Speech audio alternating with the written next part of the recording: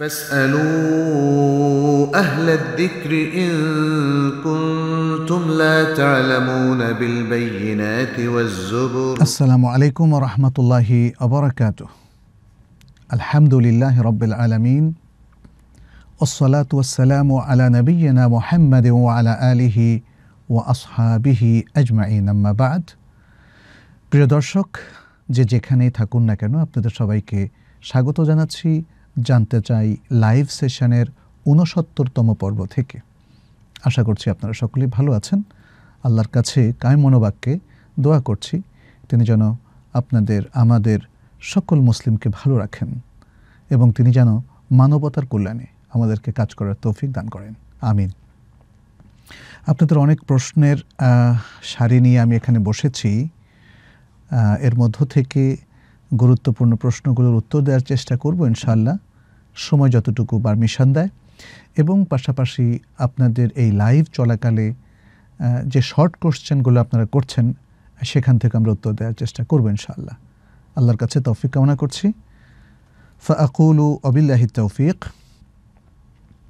মোহাম্মদ সজল হুসাইন, আপনার প্রশ্ন দিয়ে আমরা আজকে শুরু করছি। আপনি বলেছেন, কোনো ব্যক্তি গুনাহ করলে তার অন্তরে কি মরিচা পড়তে থাকে? গুনাহ হতে খাস তওবা করলে কি তার স্মৃতিশক্তি ও অন্তরশক্তি আবার তীক্ষ্ণ হয়? চমৎকার প্রশ্ন করেছেন খুবই জীবন ঘনিষ্ঠ একটা প্রশ্ন। কারণ পাপ আমাদের প্রতি পদক্ষেপেই হতে থাকে এবং পাপের জীবনটাই আজকে আমাদের কর্পোরেট জগৎ, আমাদের দুনিয়া বা দুনিয়াদারির যে ব্যস্ততা সেটা প্রমোট করছে। আল্লাহ আমাদেরকে পাপ থেকে রক্ষা করুন। তাহলে পাপ করতে করতে কি আমাদের অন্তরে কোনো কালো দাগ পড়ে অথবা মরিচা পড়ে? অন্তরটা কি লকড হয়ে যায়?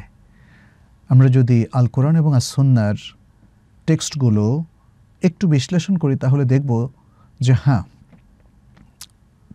প্রত্যেকটা পাপ অন্তরে একটা ব্যাড এফেক্ট তৈরি করে, একটা খারাপ প্রভাব ফেলে এবং প্রত্যেকটা পাপ অন্তরের মধ্যে কিছু মরচে, কিছু কালো ফোঁটা কিংবা এরকম কিছু গেতা কিছু পর্দা তৈরি করে দেয় এবং পাপ করতে করতে একসময় অন- অন্তরটা এই পাপে ভরে যায়, তখন আর সে অন্তর আর ভালো কিছু করে না।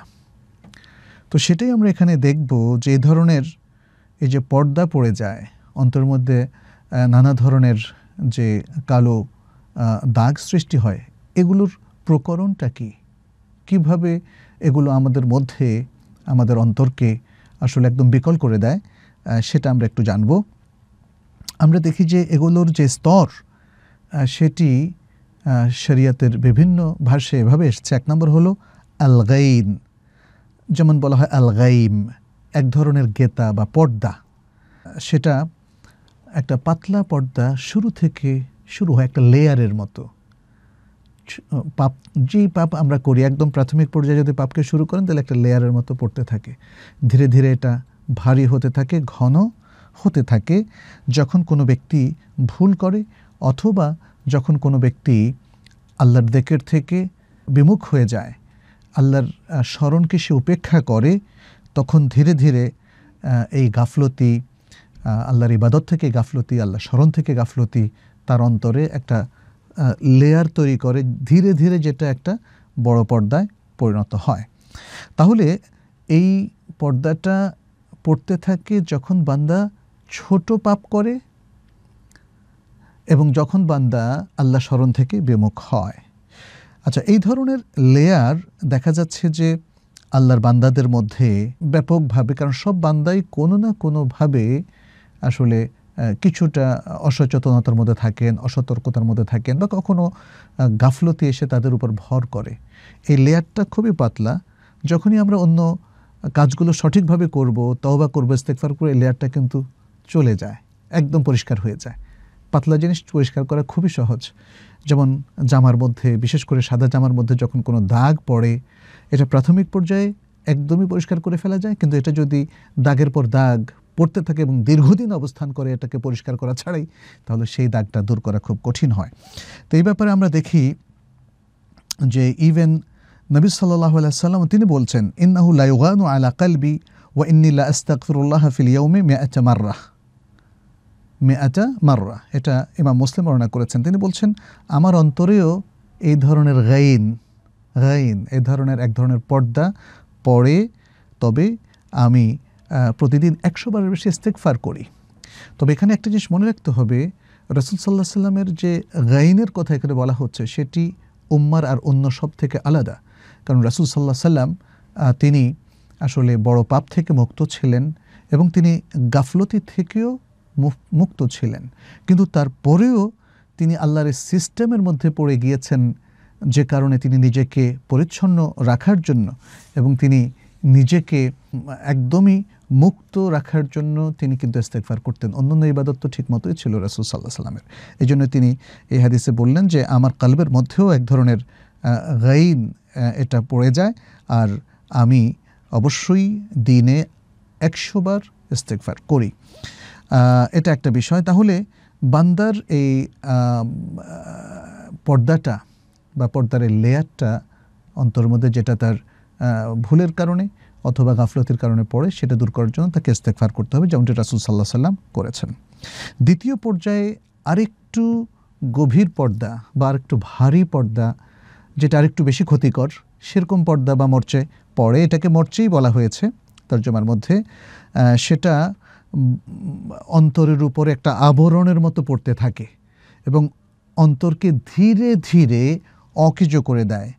অন্তরকে যে কোনো কোরআন নিয়ে চিন্তা ভাবনা থেকে আল্লাহর সুন্দর এই এই যে ভুবন, যেই ভুবনটা আল্লাহ সৃষ্টি করলেন, এই যে আল্লাহ এই ভুবনের মধ্যে কত সুন্দর সুন্দর জিনিস সৃষ্টি করলেন ফিজিক্স কেমিস্ট্রির মধ্যে আমরা দেখি আল্লাহর সব মেরাকাও এগুলো দেখা থেকে অন্তরকে বাধা দেয়। তার অন্তরে যখন মরচে পড়ে যায়, তখন সে আর কোরআনের পক্ষে ভাবতে পারে না। সে আল্লাহর পক্ষে আর ভাবতে পারে না। আল্লাহর অপু মানে আল্লাহর যে নয়নাভিরাম সৃষ্টি সেটাকে সে আর দেখতে পায় না। এখানে একটা বাধার সৃষ্টি হয় তার এই আর রাইনের কারণে। আর রাইন নামক এই পর্দার কারণে তার অন্তরকে একদমই ধীরে ধীরে এই আর রাইনটা কলুষিত করতে থাকে। মোকাতেল বলেন, এই জিনিসটা কি? এই যে রাইন যে পড়তে থাকে, এটা কি? তিনি বললেন হুয়াদ্দাম্বু আলাদ্দাম্বে হাত্তা ইয়াকশাহু ও ইউসাবু বিল আমা। বলেছেন যে এটা হলো পাপের উপরে পাপ করা। যেমন একজন মুসলিম বান্দা আসলে একবার পাপ করে তিনি ইস্তেগফার করবেন তবা করবেন, কিন্তু সেটা না করে তিনি পাপের পর পাপই করে যাচ্ছেন। কোনো ইস্তেগফার, ক্ষমা চাওয়া বা তওবা করার কোনো নামগন্ধ নেই। ফলে অন্তরকে এটা একদম আবৃত করে ফেলে এবং অন্তর তখন অন্ধ হয়ে যায়। ওয়াইসাব বিল আমা, অর্থাৎ অন্ধ হয়ে যায়, সেটা আর কিছু দেখতে পায় না। এটি ইমাম আব্দুল কাইম তার কোন এক তাফসিরের মধ্যে উল্লেখ করেছেন এবং তারপরে ফাইদা ওসিবা বিল আমা আজিজা আন রুয়াতুল হক। যখন এই অন্তরটা অন্ধ হয়ে যায়, তখন সে হক আর দেখতে পায় না। হক দেখা থেকে সে বঞ্চিত হয়। আল্লাহ সুবাহতালা সুরাল মুতাফিফিনের মধ্যে উল্লেখ করেছেন, কাল্লা বেল রানা আলা কলুবিহিম মা কেন ইয়াকসিবুন। কখনো নয়, বরং তাদের অন্তরে মরচে ধরে গেছে, তারা যা অর্জন করেছে তার কারণে। তারা কি অর্জন করেছে? তারা পাপের পর পাপ অর্জন করেছে, ফলে তাদের অন্তরে মরচে পড়ে গেছে। এবং এর প্রসঙ্গে আমরা একটা হাদিস পাই যেটি ইমাম তিরমিজি তার সুনান গ্রন্থ বর্ণনা করেছেন, শেখ আলবানি এটাকে সহি বলেছেন। এবং সহি আর তারগিব আর তারহিবের মধ্যেও এটি কিছুটা ভিন্ন শব্দ এসছে, হাদিসটা হাসান দারাজার বলে শেখ আলবানি উল্লেখ করেছেন। তো এখানে দুটো হাদিসে আবু হুরায়রা রাদিয়াল্লাহু তাআলা থেকে বর্ণিত হয়েছে। নবী সাল্লাল্লাহু আলাইহি ওয়াসাল্লাম বলছেন, ইন্নাল আবদা ইযা আখতা খাতিআতান নাকিতাত ফি কলবিহি নুকতাতুন সাউদা। যখন বান্দা কোনো পাপ করে, কোনো দোষ করে, তখন তার অন্তরের মধ্যে একটা কালো নুক্তা, কালো একটা নোক্তা পড়ে যায়। ফাইদা হুয়া নাজা ওয়াস্তাক ওয়াস্তাগফারা ওয়াতাবা সুকিলা কালবুহু। যখন সে পাপ থেকে বিরত হয়। সে খাতা থেকে খাতিয়া থেকে বিরত হয় এবং ইস্তেকফার করে এবং তওবা করে, তখন তার অন্তরটা মসৃণ হয়ে যায়। তার মানে ওই পাপটা দূর ওই যে পর্দাটা দূর হয়ে যায়, মোর্চেটা পরিষ্কার হয়ে যায়, ফলে অন্তরটা আবার আগের মতো মসৃণ হয়ে যায়।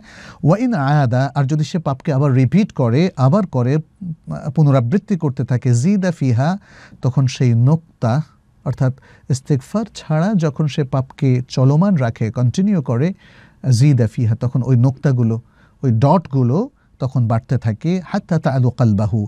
এবং এই ডটগুলো একসাথ হয়ে হয়ে হয়ে হয়ে এটা অন্তরের উপর একটা আবরণ সৃষ্টি করে। অহু আর রান আল্লাদি দেখার আল্লাহ এবং এটা হলো সেই রন বা মোর্চা যেটা আল্লাহ তালা উল্লেখ করেছেন, কাল্লাবাল রানা আলা কুলুবিহিম্মা কেন একসেবুন এই আয়াতটির উদ্ধৃতিও তিনি প্রদান করেন। তাহলে আমরা দেখতে পেলাম যে বিষয়টা কোরআনের মধ্যে সুরাল মুতাফিফুনের চোদ্দ নম্বর আয়াতে এসেছে এবং রাসুল সাল্লাহ সাল্লামও এটাকে স্পষ্ট করে ব্যাখ্যা করেছেন এবং ওলামাই কেরামও এই যে রন বা মোর্চা ধরার বিষয়টা সেটা তারা উল্লেখ করেছেন। এর চেয়েতে আরেকটা ভয়াবহ অবস্থা হচ্ছে সিলগালা করা, যেটাকে আত্মাবা বলা হচ্ছে আত্মাবা তবা আল্লাহ আলা কুলুবিহিম, তাই না?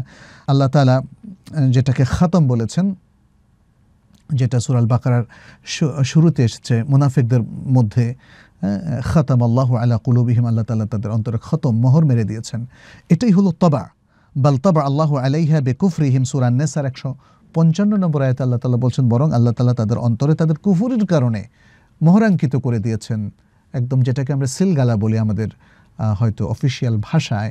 একটা অফিসে যখন কোনো রুমকে বা কোনো কিছুকে বা লককে সিলগালা করে দেওয়া হয়, তখন কেউ সেটাকে খোলার আর ক্ষমতা রাখেন না। এখন আল্লাহ যার অন্তরে এভাবে সিলগালা করে দিয়েছেন, মহরাঙ্কিত করে দিয়েছেন, আল্লাহ ছাড়া আর তাকে কেউ আসলে মানে সেই বিপদ থেকে উদ্ধার করতে পারবে না এবং সেই ভ্রষ্টতা থেকে উদ্ধার করতে পারবে না। তো এখানে তবারটা তাহলে কখন হয়? এই তবর বা খাতাম খাতাম আল্লাহ আলা কুলুবিহিম যেটা বলা হয়েছে, এই খাতামটা কখন হয়? যখন একের পর এক ব্যক্তি পাপ করে যেতে থাকে, পাপের বোঝা ভারী হতে থাকে এবং তার অন্তরকে, তার চিন্তা চেতনাকে এবং তার আমালকে চারিদিক থেকে পাপ পরিবেষ্টন করে ফেলেছে। তখন সে পাপ পুরীতে অবস্থান করতে থাকে এবং পাপই জীবনযাপন করতে থাকে। তখনই তার উপর আল্লাহ তালার পক্ষ থেকে এই মোহরাঙ্কিত হওয়ার নির্দেশনা আসে। এবং সেটি আমরা বললাম যে সুরান্নেসার একশো পঞ্চান্ন নম্বর আয়তে বলেছেন। বালতবা আল্লাহ আলাইহা বেকুফরিহিম, এবং সর্বশেষ যখন মহরাঙ্কিত হয়ে যায় কোন কারও অন্তর, তখন আল্লাহ তালা সেটাকে একদম ফুললি লক করে দেন, যেটাকে আল একফাল বলা হয়। এবং এটিও আল কোরআনে এসেছে যেমন আল্লাহ সুমাতাল্লাহ সুরা মাহমদের চব্বিশ নম্বর আয়তে বলেছেন, আফেলা আল কোরআনা আলা কুলুবিন আকফালুহা? তারা কেন কোরআন নিয়ে চিন্তা গবেষণা করে না? কারণ কোরআন নিয়ে চিন্তা গবেষণা করলে অন্তরটা সফট হতো এবং সে আল্লামুখী হতো। কারণ আল কোরআন পড়ে পৃথিবীর লক্ষ লক্ষ, কোটি কোটি বনি আদম দিনের মধ্যে এসেছে এবং আল্লাহকে চিনতে পেরেছে, আল্লাহর মাখলুককেও চিনতে পেরেছে, খালেক এবং মাখলুককে সে আলাদা করতে শিখেছে। কোরআন তেলাওয়াত করে, কোরআন গবেষণা করে, কোরআন উপলব্ধি করে এবং কোরআন থেকে পাঠ গ্রহণ করে। এই জন্য আল্লাহ তালা বলছেন, আফেলা ইয়াতাদাব্বারুন আল কোরআনা তারা কেন আল কোরআন নিয়ে চিন্তা ভাবনা করে না? আম আলা কুলুবিন আকফালুহা, নাকি তাদের অন্তরের মধ্যে তালা আছে লকড কিন্তু এই লকটা কে করেন? আল্লাহ করেন। এবং এই লকের পর্যায়গুলো এভাবেই আসে আল গাইন তারপরে আর রাইন তারপরে আত্তাবা এবং তারপরে আল একফাল এখানে তাহলে একফালটা কি? যে অন্তরের লক হওয়া, এটা হলো অন্তরের উপর সবচেয়ে কঠিন পর্দা যে পর্দাটা পড়লে অন্তরটা ফুললি লকড হয়ে যায়, তালাবদ্ধ হয়ে যায়, অন্তরে আর কিছু ঢোকার সুযোগ থাকে না এবং পরিপূর্ণভাবে মোহরাঙ্কিত হয়ে যায়। মুজাহিদ তিনি একজন প্রখ্যাত তাবেড়ে ছিলেন। তার একটি কৌল ইমাম তাবারি এবং এবনু কাতির তাদের তাফসির গ্রন্থদয়ে উল্লেখ করেছেন, বলেছেন আর রন আইসা রোমিনা তবা ও তবা আইসা মিনাল ইকফাল। বলেছেন, রন বা মরচে ধরাটা, এটা মোহরাঙ্কিত করার চাইতে একটু সহজ। তাইলে মোহরাঙ্কিত করাটা রাইন বা মরচে ধরার চাইতে আরও ভয়াবহ। ওয়াত্তাবা আইসারু মিনাল ইকফাল এবং তবর বা মোহর মেরে দেওয়া, এটা একফাল লক করে দেওয়ার চাইতে আরেকটু সহজ। তাহলে লক করে দেওয়াটা সবচেয়ে ভয়াবহতম পর্দা পড়ার বিষয় সেটি এখানে মুজাহিদ উল্লেখ করেছেন। এখানে আরও বলা হয়েছে, তাফসিরের মধ্যে বলা হয়েছে প্রথম যে আমরা আল গাইন এই যে একটা পাতলা লেয়ারের কথা বললাম, অন্তরের মধ্যে ছোট পাপ করার কারণে বা ছোট ভুল করার কারণে, সেই গাইনটা বা সেই ছোট পর্দাটা, এটা যদি পরিষ্কার করা না হয়, তাহলে সে পর্দাটা নিয়ে আসে, ইয়াজলিবুর রাইন, মোর্চাকে নিয়ে আসে। ওর রাইন ইয়াজলিবু আল খাতাম এবং রাইনটা যদি পরিষ্কার করা না হয়, এটা যদি এভাবে থাকে, তাহলে সেটা তবাকে নিয়ে আসে, খাতামকে নিয়ে আসে। ফল একফাল এবং তারপরে সেটা যদি স্টে করে, তখন পুরো জিনিসটা লকড হয়ে যায়। পুরো বিষয়টা লকড হয়ে যায়। ইমাম কর্তবী তার আল জামির আল আহকামিল কোরআনের মধ্যে উল্লেখ করেছেন ওয়াসাফ আল্লাহ কুলুব আল কুফার বে আশরাতে আউসাফ আল্লাহ তালা কাফেরদের অন্তরকে দশটা বিশেষণ দিয়ে তিনি উল্লেখ করেছেন। একটা হলো আল খাতাম তাদের অন্তরকে আর কি। একটা হলো আল মোহরাঙ্কিত করা আত্মাবর সেটার মানেও মোহরাঙ্কিত করা আদায়িক অন্তরকে সংকীর্ণ করে দেওয়া আল মারাদ যে ফি কুলুবিহিম মারাদুন বলা হয়েছে, অন্তরের মধ্যে যে রোগ ব্যাধি, এটা আসলে অন্তরের রোগ ব্যাধি, এটা এটা সরাসরি ফিজিক্যাল রোগ নয়, অন্তরের ব্যাধি, যেটা মেটাফিজিক্যাল রোগ, যেটা আসলে বিশ্বাসগত রোগ বা বা কুফুরিগত রোগ ইত্যাদি। এরপর হলো আর রাইন আর রাইন মরচে ধরা আল মাউথ অন্তর মরে যাওয়া ব্যক্তি জীবিত বাট অন্তর মরে গিয়েছে। কাসাওয়া অন্তর অত্যন্ত কঠিন, শিলার মতো কঠিন হয়ে যাওয়া, সেখানে আর কোনো হক না ঢোকা। আল এনসরাফ সত্য থেকে বিমুখ হয়ে যাওয়া। আল হামিয়া অহমিকায় পরিপূর্ণ হওয়া। আল এঙ্কার এবং সেটা রিজেক্ট করে দেওয়া, হককে পরিপূর্ণভাবে রিজেক্ট করে দেওয়া। তাহলে এভাবে আমরা দেখতে পাচ্ছি অন্তরে আসলে পাপের কারণে মোর্চা পড়তে থাকে এবং পাপটা কি ধরনের? তার সাথে তার এই মোর্চার ধরনটা নির্ভর করে। আর সেটা যদি ছোট পাপ হয় তাহলে একরকম। সেটা যদি বড় পাপ হয় তাহলে একরকম সেটা যদি কুফুরি এবং শেরকি হয় তাহলে আরও ভয়াবহ পর্যায়ের মোর্চা ধরে সে অন্তরটা হক থেকে পরিপূর্ণভাবে আলাদা হয়ে যায় এবং সেটা লকড হয়ে যায়, সেটা আমরা উল্লেখ করলাম। আল্লাহ আমাদের সকলকে রক্ষা করুন। এবং আপনি বলেছেন যে যদি সে খাস দিল ইস্তেকফার করে এবং তহবা করে, তাহলে কি তার স্মৃতিশক্তি এবং অন্তর্শক্তি আবার ফিরে আসে? তীক্ষ্ণ হয়? হ্যাঁ সেটা কিন্তু আমরা আমাদের ডিসকাশনে উল্লেখ করলাম। যদি সে ইস্তেকফার করে, যদি সে ফিরে আসে, তাহলে তার অন্তরটা আবার আগের মতো মজবুত হয়, মসৃণ হয়, সেটা কিন্তু আমাদের আলোচনার মধ্যে এসেছে। দ্বিতীয় প্রশ্নটা মার্জিয়া আক্তার পাঠিয়েছেন। তিনি বলেছেন যে আমরা জানি যে মহিলাদের চুল সালাতের সময় ছেড়ে দিতে হয়। তবে যদি চুল পেছনে নিচ দিয়ে দেখা যায়, তাহলে কি সালাত হবে? বোন মার্জিয়া, আমি প্রথমেই আপনার প্রশ্নের মধ্যে যে ছোট্ট অংশটা বলেছেন ছেড়ে দিতে হয়, তার উপর আপনাকে প্রশ্ন করব, কোথায় পেয়েছেন এটা? মেয়েদের চুল ছেড়ে দিতে হয়, এমন কোনো কিছু আসলে আসেনি। তবে চুলটাকে সে স্বাভাবিকভাবে যেভাবে চায় সেভাবে রাখতে পারবে। আপনি যদি ছেড়ে দিতে চান, কোনো অসুবিধা নেই। আপনি যদি সেটাকে একটু বেঁধে রাখতে চান, তাতেও কোনো অসুবিধা নেই। কারণ যাদের চুল অনেক লম্বা, তারা যদি ছেড়ে দিয়ে রাখে, তাহলে তাকে যে ঢাকার যে নির্দেশনা, সেটা কি করে পরিপালন করবে? অতএব চুল, মেয়েরা অথবা এবার পুরুষরাও একদম ছেড়ে দিয়ে রাখবে এমন কোনো কিছু আসেনি, বরং এটা তার স্বাভাবিক অবস্থায় থাকতে পারে। কিন্তু মূল নির্দেশনাটা কি? মূল নির্দেশনা হলো যেহেতু আলমা আলমার এত আওরাতুন ফিসালাহ ইল্লা ওয়াজহুহা, যে মহিলারা তাদের মুখমণ্ডল ছাড়া তার শরীরের পুরোটাই হচ্ছে আওরা, ঢেকে রাখতে হবে, এমনকি পায়ের পাতা সহ।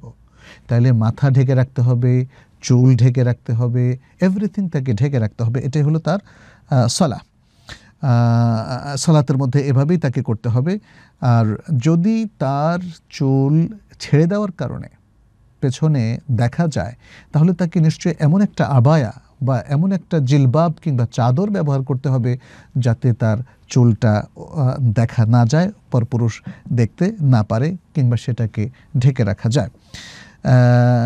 কারণ আমরা জানি চুল মাথার অংশ, যেখানে মাথা ঢাকার কথা বলা হয়েছে, সেখানে অবশ্যই চুলও ঢাকতে হবে, সে কারণ চুল মাথার, মাথা থেকে গজাচ্ছে, অতএব এটা মাথার অংশ হবে। এখানে আমরা আরেকটু কথা একটু বলব সেটি হচ্ছে যদি কোনো মহিলা তার ইচ্ছার বিরুদ্ধে বা একটু গাফেল থাকার কারণে তার চুলটা দেখা যায়, তাহলে তার সালাত হয়ে যাবে সালাদ বাতিল হবে না এবং তার উপর কোনো কাফারা বা অন্য কোনো কিছু আরোপিত হবে না। কিন্তু সে যদি ইচ্ছে করে তার চুলটাকে দেখায় এবং চুলটা দেখা যায় সেটা জানার পরেও সে চুলটাকে না ঢাকে বা গোটানোর ব্যবস্থা না করে, তাহলে তার সালাত ওলামাই কেরাম বলেছেন বাতিল হয়ে যাবে। কারণ সে ইচ্ছে করে এমন কিছু করেছে যেটা তার সতর ছিল, সেটা সে দেখিয়ে দিয়েছে, ফলে তার সালাদ বাতিল হবে এবং তাকে সালাত আবারও দোহরাতে হবে। আর উত্তম হলো আমাদের ওলামাই কেরাম বলেছেন, আন আন্তাসুদ্দাল মার আতু খিমা রাহা জৈয়েদান কাবলা শুরু সালাদ সালাদ শুরু করার আগেই সে চুলগুলো ঠিকমতো যেভাবে রাখার কথা রেখে তার ওড়না দিয়ে চুলগুলোকে এমনভাবে ঢাকা এবং শক্তভাবে ঢাকা যেন সালাতের মধ্যে কোনো কারণে সেটা আর খুলে না যায়। ফলে চুলটাও সেটা ছড়িয়ে পড়বে, অন্য মানুষ দেখে ফেলবে, এমনটা যেন না হয়। সে সাবধানতা সালাদ শুরুর আগেই তিনি অবলম্বন করবেন। সাবির খান তিনি করেছেন, বলেছেন বেতের সালাত কোনো কারণে না পড়তে পারলে কি গুনাহ হবে? আমি বেশ কিছুদিন পড়িনি। জাজাকাল্লা খের ও বারাকাল্লা ফিক। ভাই সাবির, বেতের সালাহ নিয়ে এখতলাফ আছে আমরা জানি। ওলামাই কেরাম কেউ বলেছেন যে সেটা ওয়াজিব যেমন ইমাম আবু হানিফা রাহেমাহুল্লাহ। এবং অন্যরা বলেছেন যে এটি সুন্নাত আক্কাদা ইমাম আবু হানিফার সাথে ইমাম আহমদ ইবনা হাম্বালের একদল ছাত্র বা সহচররাও বা অন্য অন্য হাম্বলি মাধাবের অনুসারী একদল ওলামাই কেরাম তারাও এ মতটাকে সমর্থন করেছেন। যদিও জমহুর ওলামাই কেরাম এবং তার মধ্যে আছেন ইমাম আবু হানিফা রাহমাহ রাহমাহুল্লার দুজন প্রিয় ছাত্র আবু ইউসুফ রাহমাহুল্লাহ এবং ইমাম মাহমুদ রাহমাহুল্লাহ। তাদের মতে এবং জমহুর ওলামাই কেরামের মতে বেতের সালাহ হলো সুন্নাতে মোয়াক্কাদা আচ্ছা এখন যদি আমরা ধরেই নেই সুন্নাতে মোয়াক্কাদা তাহলে যদি কেউ একাধারে বেতের সালা তরক করতে থাকে, তার বিধানটা কি? এখানে আমরা দেখি ইমাম আহমদ ইবনে হাম্বল, রাহমাহুল্লাহ, তিনি বলেছেন, মান তারাকাল ওয়েত্রা আমদান, ফাহুয়া রাজুল সু ইন যে ব্যক্তি ইচ্ছা করে বেতের সালাহ তরক করে, সে খারাপ লোক। ওলাইম্বাগে আন্তুক বাল্লাহু শাহাদা, এবং তার শাহাদা কবুল হওয়াটা উচিত নয়। তো এখানে আমরা যেটা লক্ষ্য করি যে বেতের সালাহ এবং এরকম আরও সুন্নাতে মোয়াক্কাদা যেগুলো নবী সাল্লাহ সাল্লাম কিংবা সাহাবাই কেরাম সাধারণত কন্টিনিউ করতেন মোয়াদাবা করতেন বাট কখনো কখনো সফর বা অন্য অন্য অবস্থায় ছাড়তেন। বেতের সালাত তো রাসুল সাল্লাম সফরেও মোয়াদাবাদ করেছেন, তাই না? এই ধরনের সালাত যদি কেউ কন্টিনিউয়াসলি তরক করে তাহলে ওলামাই কেরান বলেছেন, তার শাহাদা কবুল করা হবে না। কিন্তু যদি তার মাঝে মাঝে ছুটে যায়, কিংবা সে হয়তো দুর্বলতা ফিল করছে, বা কোনো একদিন অলসতা ফিল করার কারণে মাঝে মাঝে দু একবার ছেড়ে দেয়, তাহলে জমহুর ওলামাইকরাম যারা বলেছেন সুন্নতে মোয়াক্কাদা তাদের মতে তার কোনো পাপ হবে না। কিন্তু কেউ যদি বলে যে এটা যেহেতু সুন্নত মোয়াক্কাদা আমি একদমই পড়ব না, তাহলে তার শাহাদা কবুল করা হবে না। তার মানে কি? তার মানে তিনি ফাসেক এবং অত্যন্ত বড় ধরনের গুণাগার ব্যক্তি হিসাবে গণ্য হবেন। যদিও এটা ওয়াজিব নয়। এটা আসলে যে কোনো সুন্নত মোয়াক্কাদার ক্ষেত্রে প্রযোজ্য যে ওলামাই কেরাম সুন্নাত মোয়াক্কাদাটাকেও আসলে মানে যদি কখনো দু একবার অথবা মাঝে মাঝে তরক করে, তাহলে পাপ হবে না বলেছেন। কিন্তু যদি কেউ পরিপূর্ণভাবে এর প্রতি গাফেল হয়ে যায় এবং তরক করতেই থাকে, তখন তারা শক্ত অবস্থানে চলে গিয়েছেন। এ ব্যাপারে আমরা দেখি যে আমাদের ওলামাই কেরামের মধ্যে আরও অন্য অন্য ওলামাই কেরাম বক্তব্য রেখেছেন। যেমন ইমাম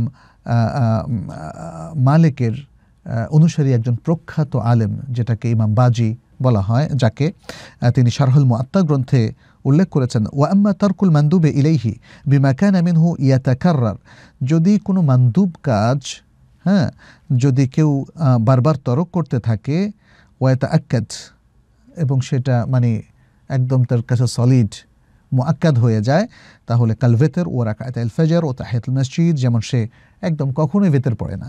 কখনোই ফজরের দুই রাকাত সালা যেটা ফরজের আগে, ফজরের যে ফরজ দুই রাকাত, তার আগের যে সুন্নত মোয়াক্কাদ দুই রাকাত, সেটা সে একদম তরক করে দিল।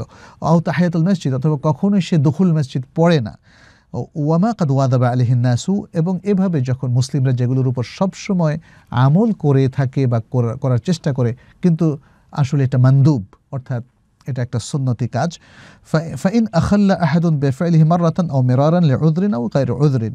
যদি কেউ মানে এখানে কোনো ত্রুটি করে একবার, দুইবার বা কয়েকবার কোনো ওজোরের কারণে অথবা ওজোর ছাড়া, ফালা তাসকতু বেদালিকা আদালা। তাহলে এই কারণে এই দুই একবার বা পাঁচবার, দশবার তরক করার কারণে তার আদালত নষ্ট হবে না, সাকিত হবে না। ও আম্মামান আকসামা, কিন্তু যে ব্যক্তি কসম করে আল্লাহ আল যে আমি কখনোই এই আমলগুলো করব না। আউ তারাকাহু জুমলাতান, অথবা একদমই সে এটাকে তরক করে ফেলল ফাইন্নাদা আলিকা ইউসকাতু শাহাদাতাহু, তাহলে তার এতে শাহাদা সাকেত হয়ে যাবে, পড়ে যাবে। শেখুল ইসলাম ইবনু চাইমিয়া রহমাহুল্লাহ কি বলছেন? তার আল ফাতা আল কুবরার মধ্যে একই কথা উচ্চারণ করলেন, কারণ এটা অনেক শুদ্ধ একটি কথা। তিনি বললেন, তার আল ফাতাওয়াল কুবরার মধ্যে আল ওয়েত্রু সুন্নাতুন মুআক্কাদা। আল ওয়েত্রু সুন্নাতুন মুআক্কাদা, ভেতর হচ্ছে সুন্নাতুন মুআক্কাদা বেত্তেফাকিল মুসলিমিন। মুসলমানদের এত্তেফাক অনুযায়ী তিনি আসলে অধিকাংশ মুসলমানদের কথা বুঝিয়েছেন, কারণ কিছু কিছু মুসলিম তো আসলে এটাকে ওয়াজিব বলছে। ওয়ামান আসররা আলা তর্কিহি, আর যারা বেতের সালাত তরক করার উপরে তারা ইসরার করছে কন্টিনিউ করছে, একদম বেমালুম বেতের সালাত একদম পড়ছে না হ্যাঁ মানে কন্টিনিউয়াসলি পড়ছে না ফাইন্নাহ তোরাদ্দু শাহাদাতুহু, তাহলে তার শাহাদাত এটা প্রত্যাখ্যান করা হবে রিজেক্ট করা হবে, গ্রহণ করা হবে না। তাহলে আমরা বুঝলাম যে বেতের সালা কোনো কারণে এক দুইবার বা মাঝে মাঝে যদি কেউ তরক করে পাপ হবে না, কিন্তু এটাকে একদমই ছেড়ে দেওয়া, এটা ভয়াবহ একটা ব্যাপার। ব্যক্তি খারাপ মানুষ হিসেবে গণ্য হবে এবং তার শাহাদা কবুল হবে না। তো ভাই সাবির খান, আপনি যেহেতু কিছুদিন পড়েননি আপনি নিজেকে একটু সংশোধন করে ফেলুন। আপনি সবসময় পড়বেন। মাঝে মাঝে যদি কখনো ছুটে যায়, তাহলে তাতে কোনো সমস্যা নেই, কিন্তু আপনি সবসময় পড়বেন। এসকে হাক, আপনি বলেছেন, লা মকসুদা ইল্লাল্লাহ, লা মাহবুবা ইল্লাল্লাহ। এগুলোকে আমাদের এখানে ইন্ডিয়ায় বক্তারা, পেরেরা জেকের করার সময় বলে? এগুলো কি বলা সঠিক নাকি ভুল? আমরা দেখি যে নকশবন্দিয়া তরিকার লোকজনের মধ্যে যে তিনটে স্তর আছে, একদম শীর্ষস্থানীয়, মিডিয়াম এবং প্রাথমিক লেভেলের। এই লোকদের মধ্যে লা ইলাহা ইল্লাল্লাহর বদলে এই শব্দগুলো উচ্চারণের একটা প্রবণতা দেখা দেয়। তারা এগুলো নিয়ে দেখিরও করে। যেমন, যারা প্রাথমিক লেভেলের তারা বলে, লা ইলাহা ইল্লাল্লাহ বাদ দিয়ে, লা মাউজুদা ইল্লাল্লাহ তারা ইলাহের অর্থ করে মাউজুদ, যেটা বড় ধরনের একটা ভুল। এবং তারপরে যারা মিডিয়াম পর্যায়ের তারা বলে লা মাকসুদা ইল্লাল্লাহ। লা মাকসুদা মানে ইলাহের বদলে দেখেন কোন দিকে নিয়ে যাচ্ছে। লা মাকসুদা ইল্লাল্লাহ, অর্থাৎ আপনার মাকসুদ যদি হয় আল্লাহ, তো ব্যাস, আপনার নামাজ লাগবে না, কিছু লাগবে না, ইত্যাদি। যদিও কিছু রিচুয়াল সব তরিকার লোকেরাই করে বাট আমাদের মানে যে মূল টেক্সটটা কালিমা তাইয়েবা লা ইলাহ ইল্লাল্লাহ সেটার মূল অর্থ থেকে দৃষ্টি, জেহান এবং চিন্তা চেতনাকে অন্যদিকে সরিয়ে নেওয়া হচ্ছে এই শব্দগুলোর মাধ্যমে অথবা নিজের মন গড়া ব্যাখ্যা করা হচ্ছে। এই ব্যাখ্যাগুলোকে রাসুল্লাহ সাল্লাহ সাল্লাম দিয়েছিলেন। এবং সর্বশেষ কেউ কেউ এটাকে মানে বানিয়েছেন, লা মাহবুদা ইল্লাল্লাহ। লা ইলাহ ইল্লাল্লাহর এটা অর্থের ক্ষেত্রে আমরা বলে থাকি, লা মাহবুদা বেহাক্কিন ইল্লাল্লাহ। সেটা তো হচ্ছে অর্থ। লা মাহবুদা বেহাক্কিন কথাটা এখানে অ্যাড করতে হবে যে আল্লাহ ছাড়া সত্যিকার ইবাদত পাওয়ার যোগ্য আর কেউ নাই। কিন্তু এখানে কিন্তু বেহাক্কিন কথাটা নেই, বলা হচ্ছে লা মাহবুদা ইল্লাল্লাহ। আবার কেউ কেউ বলেন লা মাহবুবা ইল্লাল্লাহ। তার মানে প্রত্যেকে তার নিজের মন গড়া শব্দ এখানে নিয়ে এসেছেন এবং আল্লাহর দেয়া যে শব্দ ফাইলাম আন্নাহুল্লাহ ইলাহা ইল্লাল্লাহ, লা ইলাহা ইল্লাল্লাহ, এটি কোরআন দ্বারা সাব্যস্ত এটি হাদিস দ্বারা সাব্যস্ত। অতএব এই শব্দগুলোকে পরিবর্তন করা এবং পরিবর্তন করে নিজেদের মন গড়াভাবে এগুলোকে দেখের করা, এগুলোকে আসলে প্রতিস্থাপন করা, এটা শরীয়তে একদমই নিষিদ্ধ এবং এটা একটা স্পষ্ট বেদা বলে গণ্য হবে। আল্লাহ আমাদেরকে রক্ষা করুন। মার্জিয়া হক বলেছেন, আমার বাবার কাছে কিছু চাইলে তিনি ব্যাংকের সুদের টাকা দিয়ে আমার চাহিদা পূরণ করেন। এতে কি আমার কোনো পাপ হবে? আমার বাবার সঞ্চয়পত্রের সুদ আমার অ্যাকাউন্টে আসে, আমার সাইন দিয়ে তুলতে হয় এতে কি আমার পাপ হবে? আমার বাবা পারমিশন দিয়েছে আমার বাবা পারমিশন দিয়েছে যে যদি আমার প্রয়োজন হয়, তাহলে ওখান থেকে টাকা নিয়ে খরচ করতে। এই টাকা আমি খরচ করলে কি আমার সুদ খাওয়া হবে? আসল টাকা থেকে বাবা টাকা দেবে না। মানে আসল টাকা থেকে দিবেন না, তিনি মানে সুদের প্রফিট থেকে, সুদ নামক যে প্রফিটটা তার হয় সেখান থেকে দিচ্ছেন। প্রথম কথা হচ্ছে, মার্জিয়া, আপনি তো বাবার কন্যা বুঝাই যাচ্ছে, আপনি বাবার উপর ডিপেন্ডেন্ট বাবার উপর ফরজ হচ্ছে হালাল ইনকাম করা এবং হারাম ইনকামটাকে রিজেক্ট করা। সুদটাকে সর্বতভাবে রিজেক্ট করা কনজিউম নিজে না করা, নিজের ওয়াইফ কিংবা সন্তান সন্ততির খোরপোষ সুদ থেকে না দেওয়া। সুদটা ভয়ঙ্কর পাপের কাজ, অতি ভয়ঙ্কর পাপের কাজ। আমাদের একাডেমিক নলেজটা না থাকার কারণে সেটা আমরা বুঝতে পারছি না। আল্লাহ সুবাহানা হুয়া তাআলা কতভাবে, কীভাবে আল কোরআনের মধ্যে সুদের বিরুদ্ধে বলেছেন? সুবহান আল্লাহ এটা আমাদের দৃষ্টির আড়ালে থেকে যাচ্ছে। আমাদের একাডেমিক কারুকুলামে নেই। আমাদের শিশু, কিশোর সন্তানরা কিংবা আমাদের তরুণ, তরুণীরা যখন ইউনিভার্সিটিতে সুদ কষা শেখে, তখন একটিবারের জন্য তাদেরকে বলা হয় না, এই সুদ হারাম। আহাল্লাহুল বাই ও হারামার রিবা। ওমা আতাইতুম মিন রিবান লিয়ারবু ফি আমওয়ালিন নাস ফালা ইয়ারবু ইনদাল্লাহ। সূরা রুমের মধ্যে আল্লাহ ওয়া তাআলা বলেছেন, সুদ আল্লাহর কাছে বাড়ে না। তোমাদের কাছে বাড়তে পারে, বাট আল্লাহর কাছে বাড়ে না। আল্লাহ বলছেন, ইয়াম হাকুল্লাহুর রিবা ওয়ুরবি সাদাকাত। আল্লাহ রিবাকে মিটিয়ে দিয়েছেন, ধ্বংস করে দিয়েছেন আর সাদাকাতকে বাড়িয়ে দিয়েছেন। আল কোরআনের মধ্যে আল্লাহ তাআলা এভাবে সুদের বিরুদ্ধে তিনি বক্তব্য রেখেছেন এবং সর্বশেষ এটাও বলেছেন ফাদানুর বেহারবে মিনাল্লাহ রাসূলি যারা সুদ এরপরেও চালিয়ে যায়, তাদের বিরুদ্ধে আল্লাহ এবং রাসূলের পক্ষ থেকে যুদ্ধের ঘোষণা নিয়ে নাও। তো সুতরাং এই যে বক্তব্যগুলো, এগুলো আমাদের কাছে আসলে এখন আমার কাছে মনে হয় যারা সুদে সম্পৃক্ত আছেন তাদের কর্ণকুহরে প্রবেশ করছেন। একটু আগে আমরা বললাম, মরিচে ধরে গেছে। আমাদের প্রচলিত শিক্ষা ব্যবস্থা কিংবা আমাদের চিন্তা চেতনা, আমরা পাপকে এতটাই স্বাভাবিক বলে ধরে নিয়েছি, পাপের জীবনে আমাদের অনেকে এতটাই অভ্যস্ত হয়ে গেছেন যে পাপ আর আমাদের মধ্যে অন্তর্জ্বালা তৈরি করে না, দুর্নীতি আর আমাদের মধ্যে বিবেকের দংশন তৈরি করে না। ফলে আজকে এই অবস্থা। তো যাই হোক, আমি আমি আমি আমি খুবই অবাক হচ্ছি একজন বাবা কি করে সন্তানকে সুদ খাওয়াতে পারেন। যেখানে হারাম ইনকামটাও তো জায়েজ নেই, আর হারাম ইনকাম যদি কেউ কনজিউম করে, খায় পরে বা বাসস্থানে ব্যবহার করে কিংবা পোশাক আশাক, সেই ইনকাম থেকে সে কেনে, তাহলে আল্লাহ আল্লাহ রাসুল সাল্লাহ বলছেন, আন্না ইস্তাদ জাবুলা তার দোয়া কী করে কবুল হবে? তার দোয়া কী করে কবল হবে? এটা হচ্ছে বাবার এবং মায়ের উভয়ই কর্তব্য সন্তানদেরকে সুদ থেকে মুক্ত রাখা এবং তাদের কাছে যদি কোনো সুদ ইনকাম ইচ্ছার বিরুদ্ধে আজকের প্রচলিত অর্থনীতির নানা টানাপোড়নের মধ্যে আমাদের কাছে চলে আসতে পারে, তাদের কাছে চলে আসতে পারে, সেটা থেকে গেট রিড করা। আমাদের ইনকামটাকে পিউরিফাই করা from all kinds of interest and usury এগুলো থেকে আমাদেরকে মুক্ত হওয়া। এটা শুধু একটা ব্যাংকের, ইসলামী ব্যাংকের কাজ না, যে তারা শুধু তাদের ডাউটফুল ইনকামটাকে আলাদা করবে তার জনকল্যাণে ব্যয় করবে না, এটা প্রত্যেক ইন্ডিভিজুয়াল প্রত্যেক দোকান, প্রত্যেক ব্যবসা, প্রত্যেক ব্যক্তি, প্রত্যেক চাকরিজীবীর উপরে এটা ফরজ। তারা তাদের ইনকামটাকে পিউরিফাই করবে। আপনার বাবার উচিত হচ্ছে তার ইনকামটাকে পিউরিফাই করা এবং আপনাকে হালাল থেকে তাকে খাওয়ানো। এখন যদি তিনি সেই দায়িত্বটা পালন না করেন কিন্তু আপনি ডিপেন্ডেন্ট আপনার মা তার উপর ডিপেন্ডেন্ট তাহলে আপনাদের যে খোরপোশটা তার উপর ওয়াজেব ছিল, সেটা যদি তিনি তার হারাম ইনকাম থেকে দেন, তাহলে সেটা তার পাপ হবে, আপনাদের পাপ হবে না আশা করি। তারপরেও আমি মনে করি আমাদের বিবেকের এতটুকু দংশন থাকা উচিত, বাবাকে বারবার অনুনয় বিনয় করে তাকে বলা উচিত, কিংবা যদি কোনো মতে তাকে কিছুটা হলেও প্রেশার ক্রিয়েট করা যায়, বাবা, তুমি আমাদেরকে হারাম থেকে খাওয়ায়ও না। আমাদেরকে হালালটাই দাও। তুমি চেষ্টা করো হালাল ইনকাম করতে।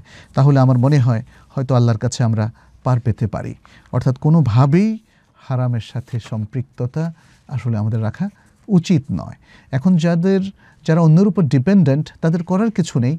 তারা প্রয়োজন অনুযায়ী ব্যয় করবেন। এই হারাম ইনকাম থেকে যদি তাদের খোরপোশের ব্যবস্থা করা হয়, তাহলে তারা প্রয়োজন অনুযায়ী ব্যয় করবেন। বাকিটা আল্লাহর কাছে ক্ষমাও চাইবেন এবং যেই মুরব্বী অথবা যে অভিভাবক তাকে হারাম খাওয়াচ্ছেন, তাকেও সবসময় নাসিহা করে যাবেন, মোটিভেশন দেবেন, আল্লাহর তাকওয়ার নাসিহাত করবেন এবং আল্লাহর ভয় তাদেরকে প্রদর্শন করবেন। তাহলে এরকম একটা নেগোসিয়েশন চলমান থাকবে।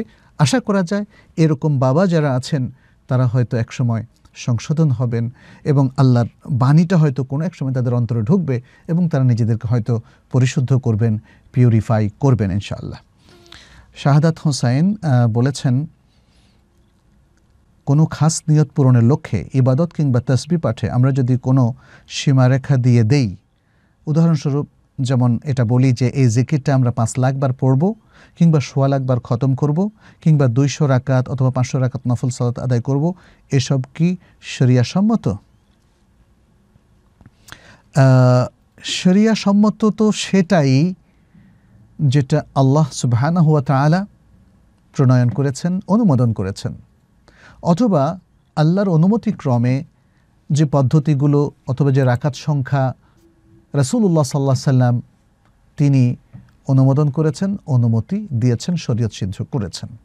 তার মানে হচ্ছে আল্লাহ এবং তো রাসুল সাল্লাহ সাল্লাম যে নির্দিষ্ট সংখ্যক আধকার চালু করেছেন ইস্তেকফারের ফরম্যাট বাতিয়ে দিয়েছেন ইবাদতের পদ্ধতি বলে দিয়েছেন, নির্দিষ্ট সময়, নির্দিষ্ট পদ্ধতি, নির্দিষ্ট সালাত, যেগুলো কোরআন এবং সুন্নায় এসেছে, শুধু সেগুলোই শরীয়ত সিদ্ধ।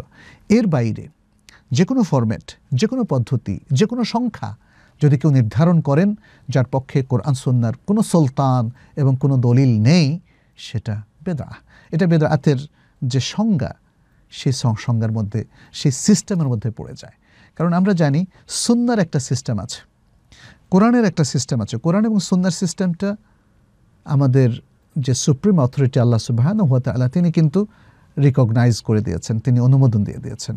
কিন্তু এর বাইরে যদি কোনো মানুষ নিজের অথরিটি নিয়ে শরিয়ার মধ্যে কোনো জিনিস উদ্ভাবন করেন, প্রচলন করেন, চালু করেন, সেটা হক ফরম্যাটের ক্ষেত্রে, পদ্ধতির ক্ষেত্রে, আমলের পদ্ধতির ক্ষেত্রে, সময় নির্ধারণের ক্ষেত্রে, স্থান নির্ধারণের ক্ষেত্রে কিংবা আদদ কিংবা সংখ্যা নির্ধারণের ক্ষেত্রে যে কোনো একটাই যদি ঘটে যায় আমাদের আমলের মধ্যে, তাহলে সেটা বেদাতে রূপান্তরিত হবে। তাহলে যেমন ধরেন অমরা অমরার জন্য আল্লাহ সুবহান তাআলা নির্ধারণ করে দিয়েছেন মাক্কানগরী তওয়াফ এবং সাই তাই না? যেটা কায়বা কায়বার চারিদিকে সাত তওয়াফ এবং সাফা মারোয়ায় সাতটা শাড়ি ছাড়া তো তো ওমরা হবে না। এখন কেউ যদি এই ওমরাটা মদিনায় করতে চায়, হবে কি? হবে না। তাহলে স্থান পরিবর্তন করলে আসলে কোনো সুযোগ নাই সে আমলটা শুদ্ধ হওয়ার। হজের জন্য আমরা জানি আশরুল হজ এবং বিশেষ করে হজের মূল পর্ব হচ্ছে আল হজ আরাফা, আরাফাত দিন। মুজদালিফায় আরাফাত দিন দিবাগত রাত্রে অবস্থান করতে হয়। এবং আরাফার দিনের পরেই হজের তওয়াফ এবং সাইটা করতে হয়, বিশেষ করে যারা তামাত্তর করছেন। তাহলে এক্ষেত্রে কেউ যদি টাইমটাকে একটু এগিয়ে নিয়ে আসেন, যদি মনে করেন যে ভিড়, এই সময় প্রচণ্ড ভিড়, তাহলে আমি শাওয়াল মাসে এটা আসল হজ করব অথবা জিলকাদ মাসেই করে ফেলব হজটা। হবে? হবে না। তাহলে সময়টা সারিয়া ঠিক যেভাবে যেভাবে ফিক্স করেছে, তার বাইরে যাওয়ার কোনো সুযোগ নেই। আচ্ছা এখন শরিয়া বলেছে তফ করতে হবে সাত চক্কর। আপনি যদি বলেন যে না, আমরা পাঁচ চক্কর করব, দুই চক্কর পারব না, শরীরে কুলায় না। অথবা কেউ যদি বলে না, আমি তো তাগড়া জোয়ান আমি দশ চক্কর তফ করব।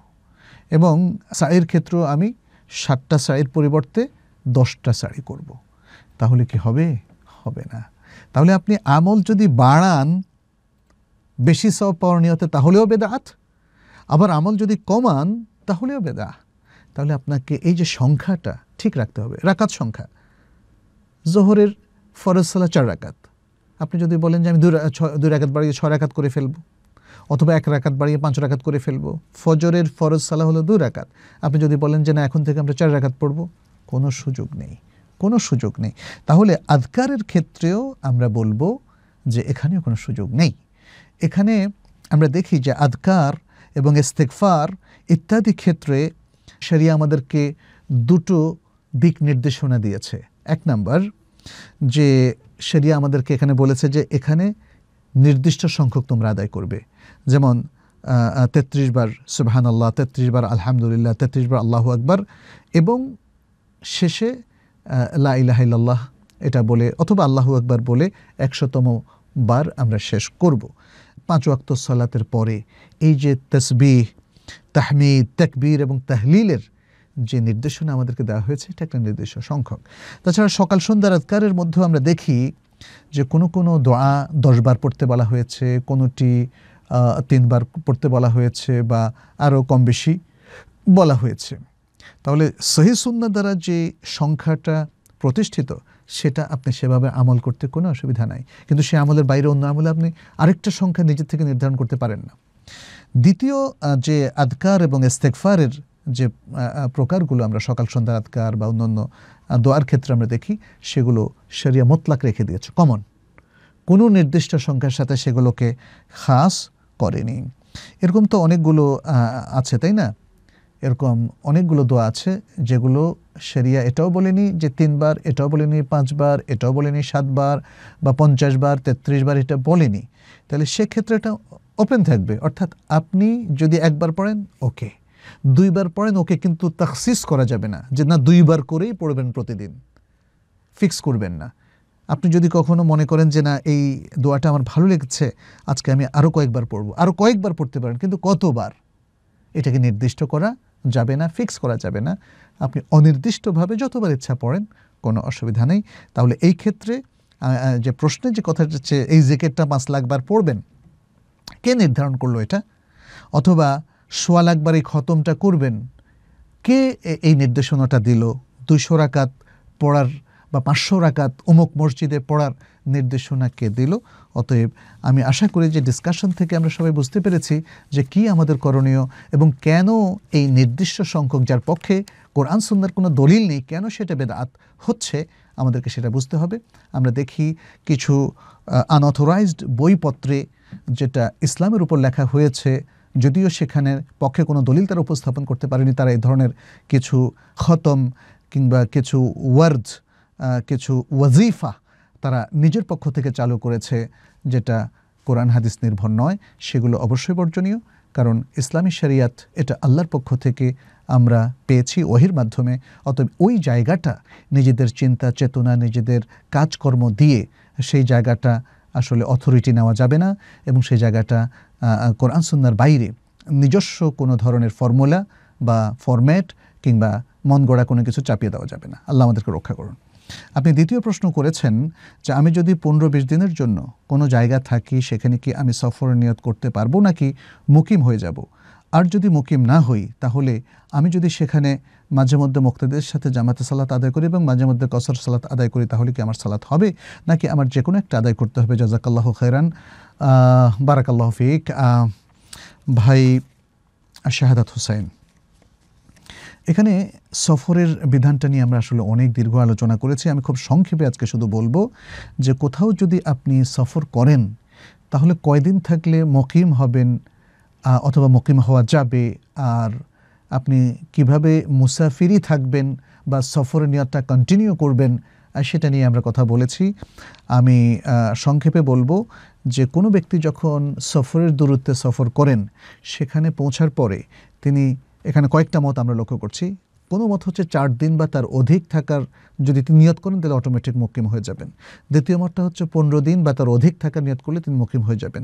উনিশ দিন বা তার অধিক থাকার নিয়ত করলে তিনি মুকিম হয়ে যাবেন। তিনটা মত পেলাম। চতুর্থ মত হচ্ছে যে না রাসুল সাল্লাহ সাল্লাম এভাবে সময়টাকে উল্লেখ করেনি এগুলো ইজতেহাদি অভিমত। অর্থাৎ কোরআন সন্না থেকে এবং রাসুল সাল্লাহ সাল্লামের সফরের বিভিন্ন ট্রিপ থেকে ওলামাই কেরাম ইজতেহাদ করে বা হাদিসগুলোকে পর্যালোচনা করে তারা সেই ইজতেহাদের ভিত্তিতে মতগুলো দিয়েছেন। নিজের থেকে বানোয়াট কোনো মত তারা দেননি।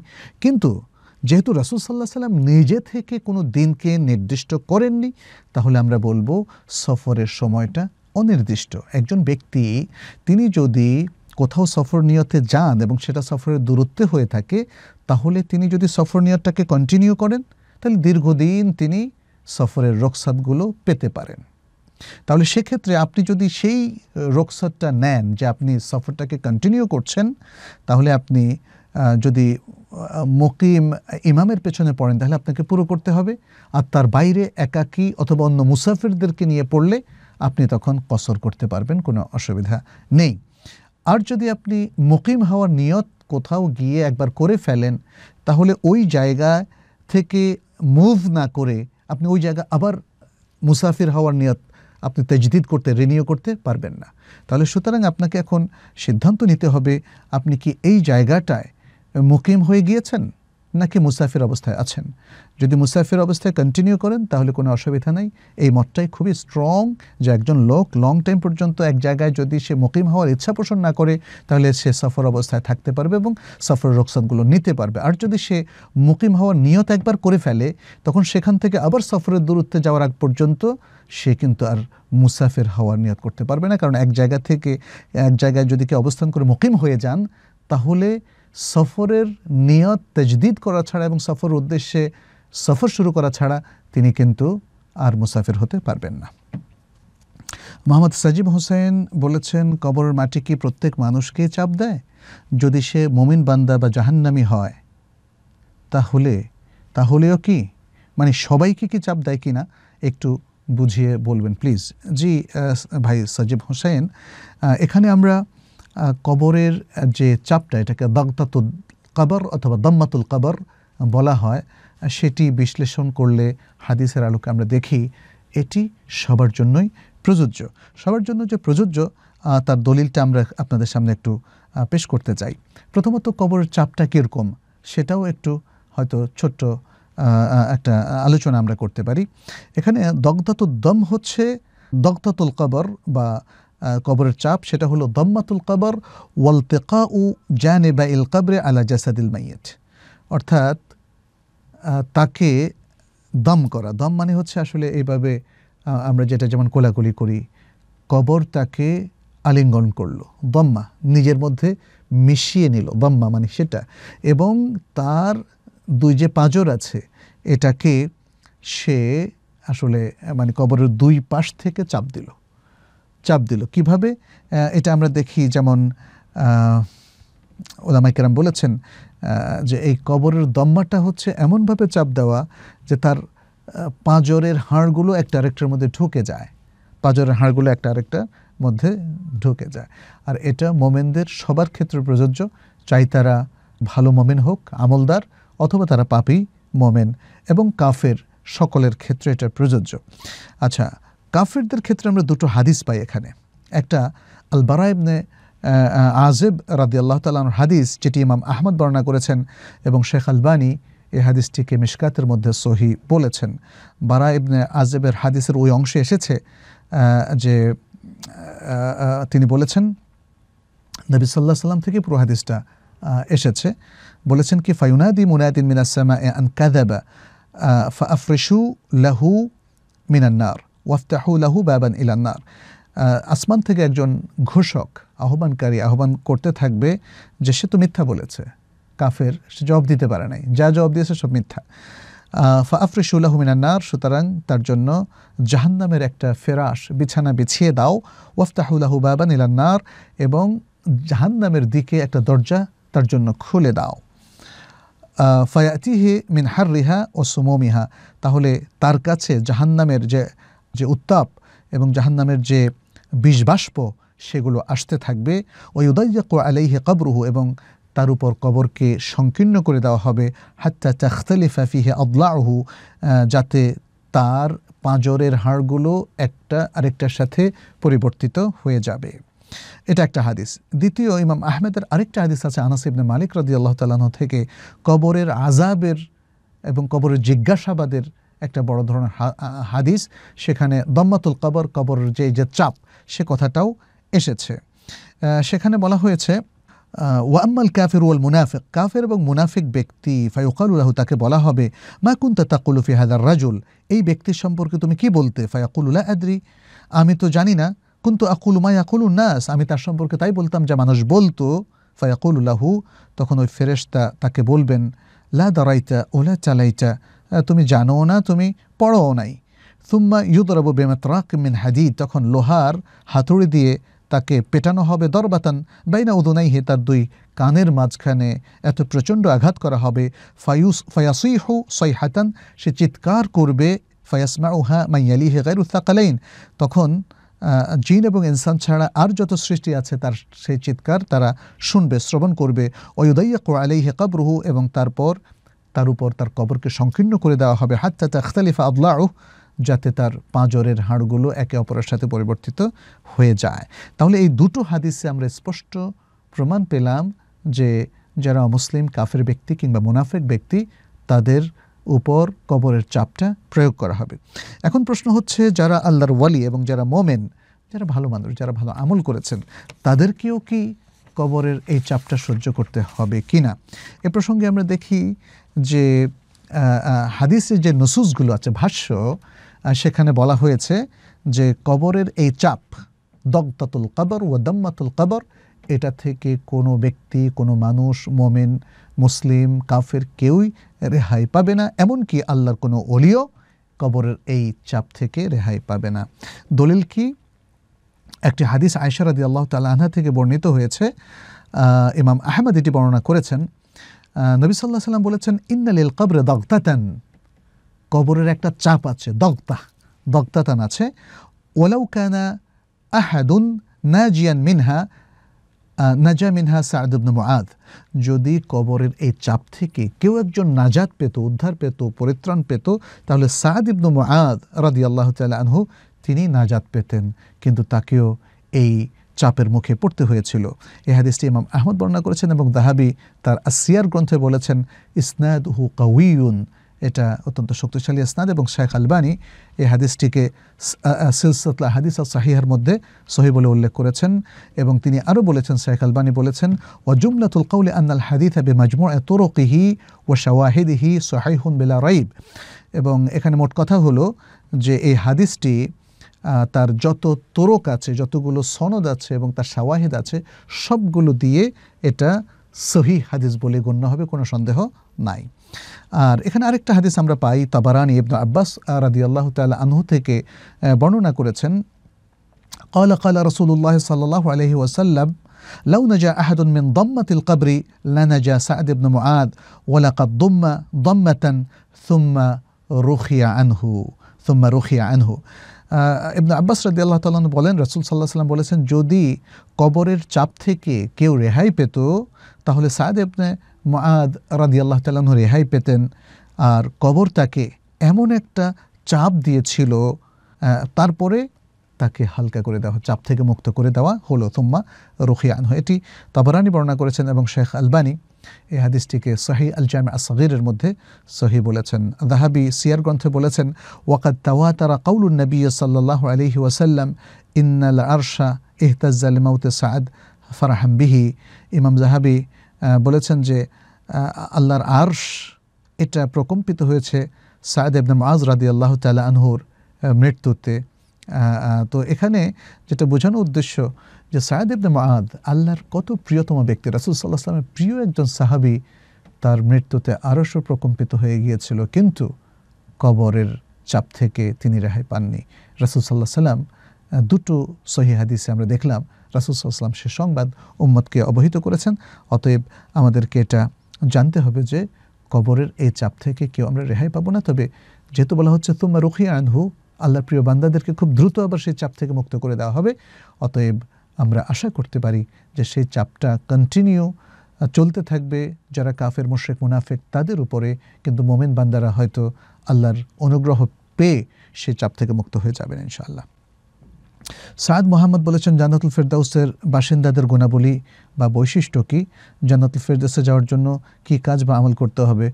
খুবই চমৎকার একটা প্রশ্ন করেছেন। খুবই কমন বাট সাধারণত এই প্রশ্নটি আমি আর কাউকে করতে শুনিনি। সেই জন্যই বললাম যে জান্নাতুল ফেরদাউস তো আমাদের কাছে অত্যন্ত আকাঙ্ক্ষিত, তাই না? আমরা আমরা জান্নাতুল ফেরদাউসই আল্লাহর কাছে চাইব, কারণ আল্লাহ আল্লাহ আল্লাহ রাসুল সাল্লাহ বলছেন, তোমরা যখন আল্লাহর কাছে কোনো জান্নাত চাও, তাহলে ফেরদাউস চাও। কারণ এটাই জান্নাতের মধ্যে সর্বোচ্চ মানসম্পন্ন জান্নাত। কিন্তু কথা হচ্ছে, এই জান্নাত ফেরদাসে যাওয়ার জন্য কি বৈশিষ্ট্য প্রয়োজন? কি আমল আমাদেরকে করতে হবে? বৈশিষ্ট্যগুলো আলোচনা করলে আমলটা স্পষ্ট হয়ে যাবে। আমরা সেখানে মানে কোরআনে যদি আমরা দেখি, তাহলে আল কোরআনের সুরা আল মেনুনের মধ্যে সাতটা সিফাতের কথা বলা হচ্ছে। এক থেকে এগারো নম্বর আয়াত, সুরা আল মেনুনের এক থেকে এগারো নম্বর আয়াতে সাতটা সেফাতের কথা বলা হচ্ছে। এই বৈশিষ্ট্য এবং গুণাবলীগুলো যদি কোনো মানুষের মধ্যে থাকে, তাহলে সে জান্নাতুল ফেরদাউস এর অধিকারী হবে। আল্লাহ সেই ঘোষণাটা দিচ্ছেন। কি বলছেন আল্লাহ সুমতাল্লাহ বিসমিল্লাহ রহমান রাহিম। কদ আফলাহাল মেনুন মোমেনরা সফলকাম হয়েছে। আল্লাদিন আহম ফি সলাতিহিম খাশিউন, যারা তাদের সালাতের মধ্যে বিনয়ী। ওল্লাদিন হুম আনিল্লাহ রিদুন আর যারা অনর্থক কথা কাজ থেকে বিরত থাকে। ওল্লাদিন হুমলি জাকাতে ফাইলুন এবং যারা জাকাত প্রদান করে। ওল্লাদিন হুমলি ফুরুজিহিম হাফেদুন আর যারা তাদের লজ্জাস্থানের হেফাজত করে এটাকে অবৈধভাবে ব্যবহার করে না। ইল্লা আলা আজওয়াজিহিম আউ মালাক, মা মালাকাত হুম তবে তাদের স্ত্রীদের কথা আলাদা এবং তাদের দক্ষিণ হস্ত যাদের মালিক হয়েছে, তাদের সাথে মেলামেশার কথা আলাদা। ফা ইন্নাহম গারু মালুমিন। যদি তার স্ত্রীদের সাথে, তাদের দক্ষিণস্থ যাদের মালিক হয়েছে, তাদের সাথে মেলামেশা করে তাহলে তারা তিরস্কৃত হবে না। ফমন ইবতাগা ওয়ারা আদালিকা ফাউলা ইকাহমুল আদুন তবে এর বাইরে যদি তারা আর কারোর সাথে যৌন সম্পর্ক স্থাপন করে, তাহলে তারা হবে সীমালঙ্ঘনকারী। ওল্লাদিন আহমলে আমানাতিহিম আহদিহিম রাউন, এবং যারা তাদের আমানত এবং প্রতিশ্রুতি রক্ষা করে থাকে ওল্লাদিন আহম আলা সালাওয়াতিহিম হাফেদুন এবং যারা তাদের সকল সলাদকে সংরক্ষণ করে, সঠিকভাবে আদায় করে উলা ইকাহম ওয়ারিথুন তারা হচ্ছে উত্তরাধিকারী। আল্লাদিনা ইয়ারিথুন আল ফেরদাউসা হুম ফিহা খালিদুন যারা জান্নাতুল ফেরদাউসের যারা উত্তরাধিকারী হবে, সেখানে তারা চিরন্তন থাকবে। তাহলে এখানে আমরা দেখতে পাচ্ছি, আল্লাহ সুবাহতাল্লাহ প্রথমত আল ইমানের কথা উল্লেখ করলেন। কাদ আফলাহাল মেনুন ইমান থাকতে হবে, মোমেন হতে হবে তাকে। জান্নাতুল ফেরদাউসের উত্তরাধিকার হওয়ার জন্য মোমেন তাকে হতে হবে ইমানটাকে নিশ্চিত করতে হবে। ভঙ্গুর, দুর্বল ইমান না। এটা হলো পরিপূর্ণ ইমান কামেল ইমান তারপরে হলো আল খুশুর আফিস সালাত, সালাতের মধ্যে তার খুশুর এবং মনসংযোগ। তারপরে হলো আল এরাদ আনিল লাগুভি সে যে কোনো অনর্থক কথা কাজ পৃথিবীতে যত অনর্থক কথা কাজ আছে সব থেকে সে বিমুখ হয়, সে নিজেকে সংযত রাখে। চতুর্থ নম্বর হচ্ছে আদা জাকাত জাকাত আদায় করে। পঞ্চম হচ্ছে সে তার লজ্জাস্থানকে হেফাজত করে। লজ্জাস্থানকে হেফাজত যারা করতে পারছে না, তারাই পৃথিবীতে সমস্ত দুর্নীতি এবং অশ্লীলতা ছড়ায় এবং এই এই লজ্জাস্থানের অবৈধ ব্যবহারের জন্য পৃথিবীতে পর্নোগ্রাফি থেকে আরম্ভ করে এভরিথিং তারা ছড়িয়ে দিচ্ছে। সুতরাং পঞ্চম যে গুণ সেটা হচ্ছে হেফজুল ফার্জ। লজ্জাস্থানের হেফাজত। ছয় নম্বর হচ্ছে আদা উল আমানা আমানাতদারি আদায় করা। আল আমানাত উল আহেদ, প্রতিশ্রুতি রক্ষা করা এবং আমানাতদারি রক্ষা করা। খুবই গুরুত্বপূর্ণ একটা জিনিস যেটা ঠিক হলে পৃথিবীর ব্যবসা, বাণিজ্য, প্রশাসন থেকে আরম্ভ করে এভরিথিং ঠিক হয়ে যাবে। এবং সপ্তম হলো আল মাহাফাদাত আলা আদা ইসালাওয়াত যে সলাদগুলো আল্লাহ তাল্লাহ ফরজ করে দিয়েছেন, সেগুলো সঠিকভাবে আদায় করা। তাহলে এই সাতটা হচ্ছে আসলে মূলত জান্নাতুল ফেরজাউজ যারা পেতে চায়, তাদের বৈশিষ্ট্য, তাদের মধ্যে এগুলো থাকতে হবে এবং তাদের জন্য এই আমলগুলো করতে হবে। এই বৈশিষ্ট্য অর্জনের জন্য আমলগুলো করতে হবে। আমরা আরেকটা হাদিসের মধ্যে দেখি যেটি ইমাম বুখারি তার সহিয়াল বুখারির মধ্যে নিয়ে এসেছেন সেখানে বলা হয়েছে, আহলুল ফেরদাউসের একটা অন্যতম সেফাত হচ্ছে আল্লাহর পথে তারা যেন সবসময় সংগ্রাম করতে থাকে, জেহাদ করতে থাকে। যেমন রসুল সাল্লাহ সাল্লাম বলছেন, মান আমানা বিল্লাহ আবি রসুলহি আকাম সালাতা ওসামা রমাদান কেন হাক্কানা আল্লাহ আইয়ুদখিলাহুল জান্না যে ব্যক্তি আল্লাহর প্রতি ইমান পোষণ করে এবং তার রাসুলের প্রতি এবং সালাদ কায়েম করে রামাদানের সিয়াম রাখে তাহলে আল্লাহর উপর এটা অবধারিত হয়ে যায় যে তিনি তাকে জান্নাতে প্রবেশ করাবেন। জাহাদ আফি সাবিল্লাহে আউ জালাসাফি আরদিহিল্লাতি উলে দাফিহা চাই সে আল্লাহর পথে জেহাদ করুক অথবা সে সেই জমিনে বসে থাকুক যেই জমিনে সে জন্মগ্রহণ করেছে। ফকালু ইয়া রসোল্লাহ আফ আল্লাহ নুবাশেরু নুবাশেরু নাস সাহাবাকরাম জিজ্ঞেস করলেন হে আল্লাহ রাসুল, আমরা কি তাহলে মানুষকে সুসংবাদ দেব না? এটা তো খুব মজার কথা ওদের যুদ্ধও করতে হবে না, বসে থাকবে, শুধু কয়েকটা কাজ করলে হবে, এটা কি মানুষকে জানিয়ে দেবো কিনা? কালা ইন্নাফিল জান্নাতে মে আতা দারাজা। তখন নবী সাল্লাম বললেন, জান্নাতের মধ্যে মানে একটু অন্যভাবে উত্তরটা দিলেন, খেয়াল করেন। জান্নাতের মধ্যে একশোটা দারাজা পজিশন আছে, একটার উপর একটা, একটার উপর একটা একটা আদাহ লিল মুজাহিদিন ফিসাবিল্লা এই একশোটা পজিশন সবটাই যারা আল্লাহর পথে জেহাদ করবে, তাদের জন্য তিনি প্রস্তুত করে রেখেছেন। মা বাইনার দ্বারা যাতাইন কামা বাইনা সামা এওয়াল আর্দ। এবং দুটো পজিশনের মাঝখানের পার্থক্য হচ্ছে আসমান আসমান এবং জমিনের পার্থক্য। ফাইদাস আলতুমুল্লাহ ফেস আলুহু আল ফেরদাউস যখন তোমরা আল্লাহর কাছে কোনো কিছু চাইবে, তখন তোমরা ফেরদাউস চাইবে আল ফেরদাউস চাইবে। ফাইন্নাহ আউসাতুল জান্না কারণ সেটা হলো জান্নাতের মাঝামাঝি। ও আল আল জান্না জান্নাতের সবচেয়ে সর্বোচ্চ জায়গায় চূড়ায়, আরাহু ফৌকা ফৌকাহু আরশুর রহমান। আমার মত হলো বা আমি আমি যেটা জানি সেটা হলো এর উপর, এই ফেরদাউসের উপর রয়েছে আল্লাহর আর্শ। তো যাই হোক, আমরা এই সহি হাদিসটিতেও বুঝতে পারলাম যে আরেকটা কাজ, আল্লাহর দিনকে প্রমোট করার কাজ। হ্যাঁ এটাই হলো আসলে মূলত জেহাদ ফি সাবিল্লার মূল অর্থ। যখন যুদ্ধ করা লাগবে, যুদ্ধ করবে। যখন তার জানমাল দেওয়া লাগবে, দেবে। যখন শিক্ষার মাধ্যমে সে দিনকে প্রমোট করার তার জন্য গুরুত্বপূর্ণ হবে, তখন সে সেটা করবে। যখন দাওয়াইল আল্লাহর কাজের মাধ্যমে দিনকে প্রমোট করার সুযোগ থাকবে, তখন সে সেটা করবে। যখন দান খারাত সাদাকার মাধ্যমে সে আল্লাহর দিনকে প্রমোট এইভাবে নানা রকম প্রমোশনের সিস্টেম আছে এবং তাদের এই ফজিলতের কথা এসেছে।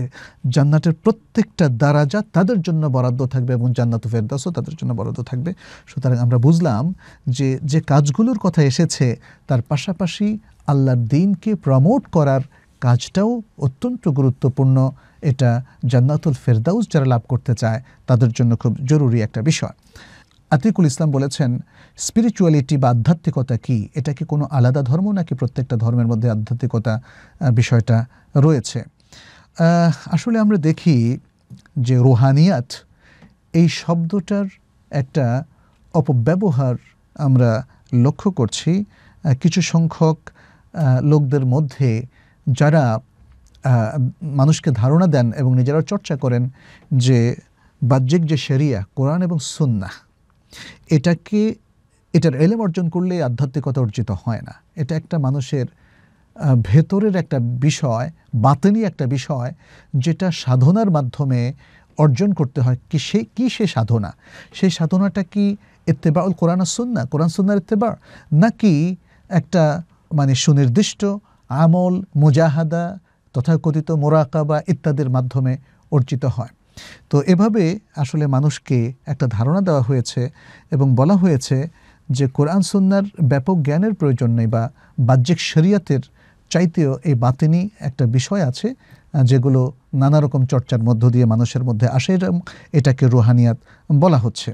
এবং অনেক সময় দেখা যাচ্ছে যে সেখানে নানা ধরনের খোরাফাত, ভুল ধারণা আছে, নানা ধরনের বেদাতি আমল সেখানে আছে এবং কোরআন সন্ন্যার বাইরে গিয়ে বিভিন্ন ভুল তরিকার কিছু ভুল চর্চা আছে, ভুল আকিদা আছে, শেরকি কর্মকাণ্ড আছে এবং সেখানে জিন এর মাধ্যমেও কিছু কর্মকাণ্ড পরিচালনা করার চর্চা আছে এবং বাতিল যে তাবিজ তুমার, শেরকি তাবিজ তুমার কিংবা ঝাড়ফুঁকের প্রচলনও সেখানে আছে। এগুলোর মধ্য দিয়ে বাতিনি জগতের এই রুহানিয়ত অর্জন করা হয়। তো সেটা আমরা জানি যে সেটা হলো আসলে একদল বিভ্রান্ত লোক এবং শয়তানের অনুসারী লোকদের কাজ আল্লাহ তালা এখানে সুরা নূরের একুশ নম্বর আয়তে বলছেন, ইয়া ইজুহাল্লাদিন আমানুল্লাহ তাত্তাবি ও খতুয়াতি শেতন হে ইমানদার লোকেরা, তোমরা শয়তানের পদাঙ্কগুলো অনুসরণ করো না। ওমাইয়াত্তাবে খতুয়াতি শয়তান আর যারা শয়তানের পদাঙ্কগুলো অনুসরণ করে ফাইন্নামাই আমরুবিল ফাশায় ওল মুনকার। নিশ্চয়ই শয়তান তো নির্দেশ দেয় অশ্লীলতা এবং অন্যায় কাজের। ওলাউল্লাহ ফদুল্লাহ আলাইকুম রহমাতুহু, আর যদি তোমাদের উপর আল্লাহর অনুগ্রহ এবং রহমত না থাকতো, মা জাকা মিন কুমিন আহাদিন আবাদা, তাহলে তোমাদের মধ্য থেকে কেউই কখনো পরিশুদ্ধ হতো না। ওলাকিন আল্লাহ ইউজাক্কি মাইয়াশা বরং আল্লাহ যাকে ইচ্ছা পরিশুদ্ধ করে থাকেন। ওল্লাহ আসিরন আলিম, আর আল্লাহ প্রশস্ত এবং সর্বজ্ঞানী। এখন মানুষের যদি আমরা বলি ভেতরের অন্তরের পরিশুদ্ধতা, যেটাকে তাজকিয়াত নফস বলা হয়, সেটা আসলে কোরআন সুন্নারই একটা নির্দেশনা, বাহ্যিক শরিয়াতেরই একটা নির্দেশনা। অতএব রুহানিয়াতকে বাতিনি জগতের কোনো চর্চা কিংবা বিষয় বলে যদি চিহ্নিত করা হয়, তাহলে এটা হবে ভুল। বরং যদি আমরা বলি মানুষ তার আত্মার পরিশুদ্ধি সাধন করবে, তার নফসের পরিশুদ্ধি সাধন করবে, তাহলে তার পথ একটাই, সেটা হচ্ছে কোরআন সন্ন্যার জ্ঞানে সমৃদ্ধ হওয়া এবং সে অনুযায়ী আমল করা। তাহলেই মানুষের নফসের যে তাজকিয়া পরিশুদ্ধি অর্জিত হবে এবং তার ভেতরটাও পরিশুদ্ধ হবে, তার বাইরটাও পরিশুদ্ধ হবে, তার আচরণ এবং তার আচার এবং তার সমস্ত কর্মকাণ্ড কোরআন সন্ন্যার ভিত্তিতে পরিচালিত হবে। এটাই হচ্ছে বিশুদ্ধতম পন্থা।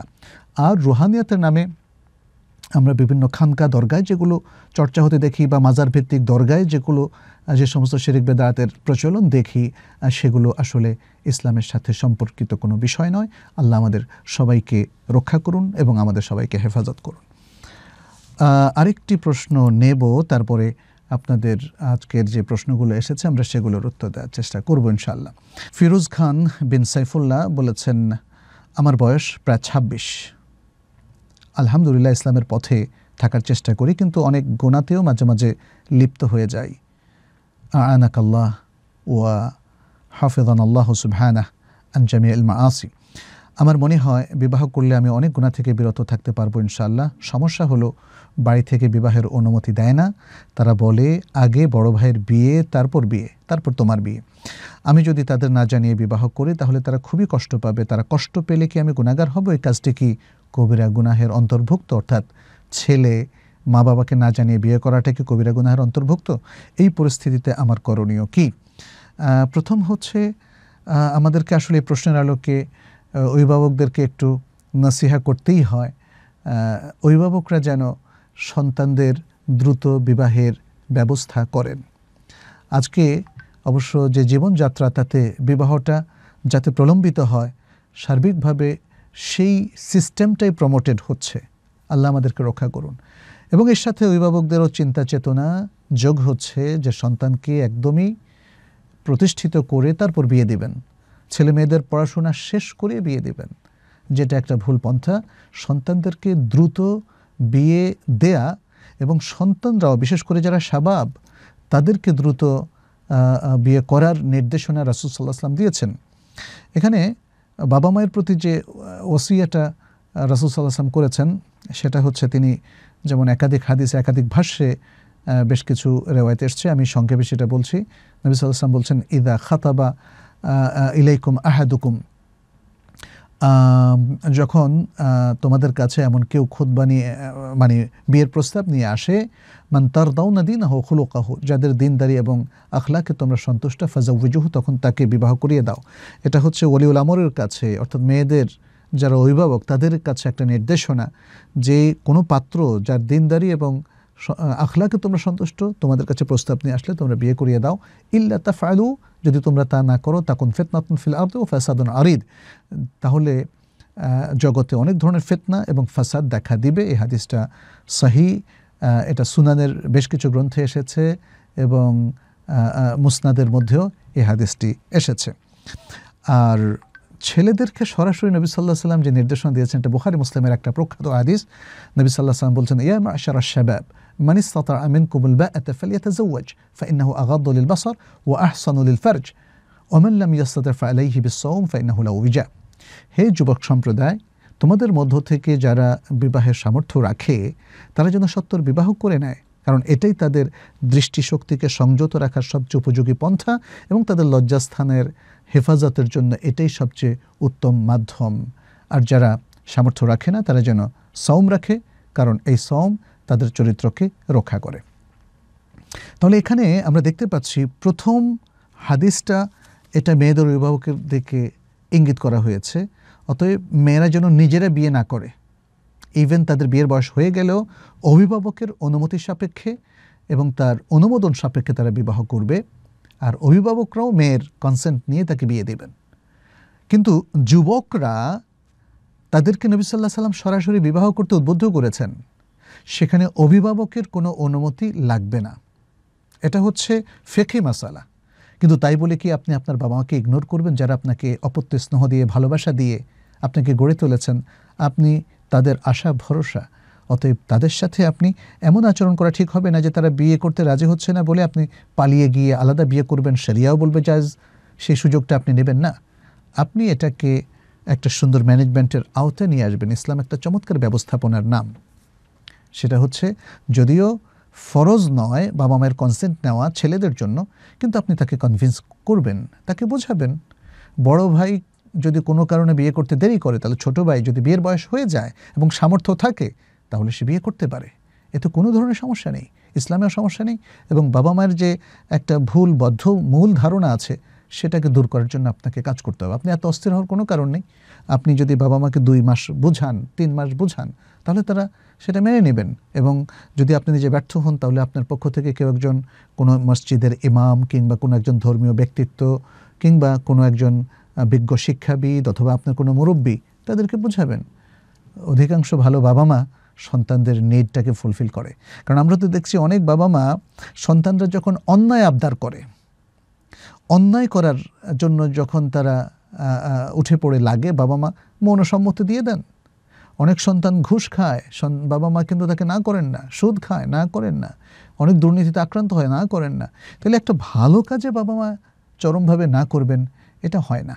আমরা অনেক সময় লজ্জার কারণে বিয়ের কথা বলতে পারি না। সন্তান হিসাবে ২৬ বছরের একজন সন্তান, ফিরোজ খান হয়তো তার বাবাকে বলতে পারছে না বা ঠিক মতো বুঝাতে পারছে না, লজ্জা পায়, সেটা হচ্ছে মূল কারণ। কিন্তু আমার কাছে মনে হয় অনেকগুলো স্টেপ আছে আমাদের কাছে, সুযোগ আছে স্কোপগুলো কাজে লাগিয়ে যদি বাবা মায়ের কাছে আমরা অ্যাপ্রোচ করতে পারি কনভে করতে পারি আমাদের মূল চিন্তা, চেতনা এবং মেসেজগুলো, তাহলে বুদ্ধিমান, বিচক্ষণ বাবা মা অবশ্যই সন্তানকে দ্রুত বিবাহের ব্যবস্থা করবেন। যদিও তার বড় ভাই বড় ভাই কিংবা বড় বোন তখনও বিয়ে না করে থাকে। এটাও একটা ভুল যে বড় ভাই এত বড় হয়েছে, কেন বিয়ে করল না, সেটা আরেকটা আলোচনা, আমরা সেদিকে আর যাব না।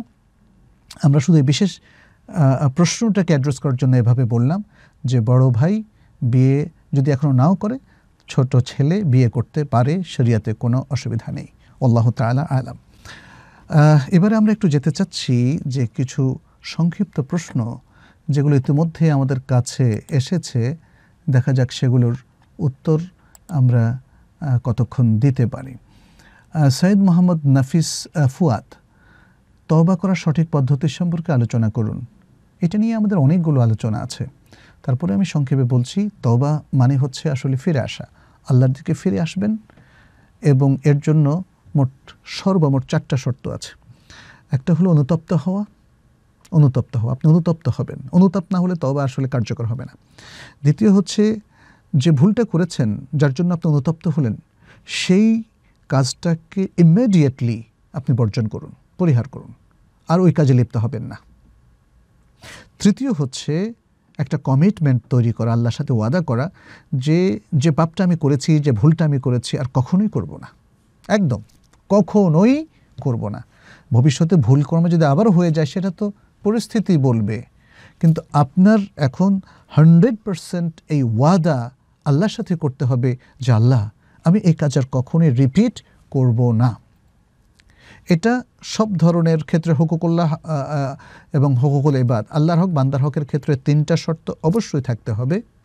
আর চতুর্থ আরেকটা শর্ত আছে যেটা বান্দার হকের সাথে রিলেটেড সেটা হলো যদি বান্দার কোনো হক, দুনিয়াবি কোনো হক আপনি নষ্ট করেন, যেমন তার আপনি টাকা আত্মসাত করলেন, কিংবা তার জমি আত্মসাত করলেন, তার ফ্ল্যাট আত্মসাত করলেন ওটা তাকে ফেরত দিতে হবে।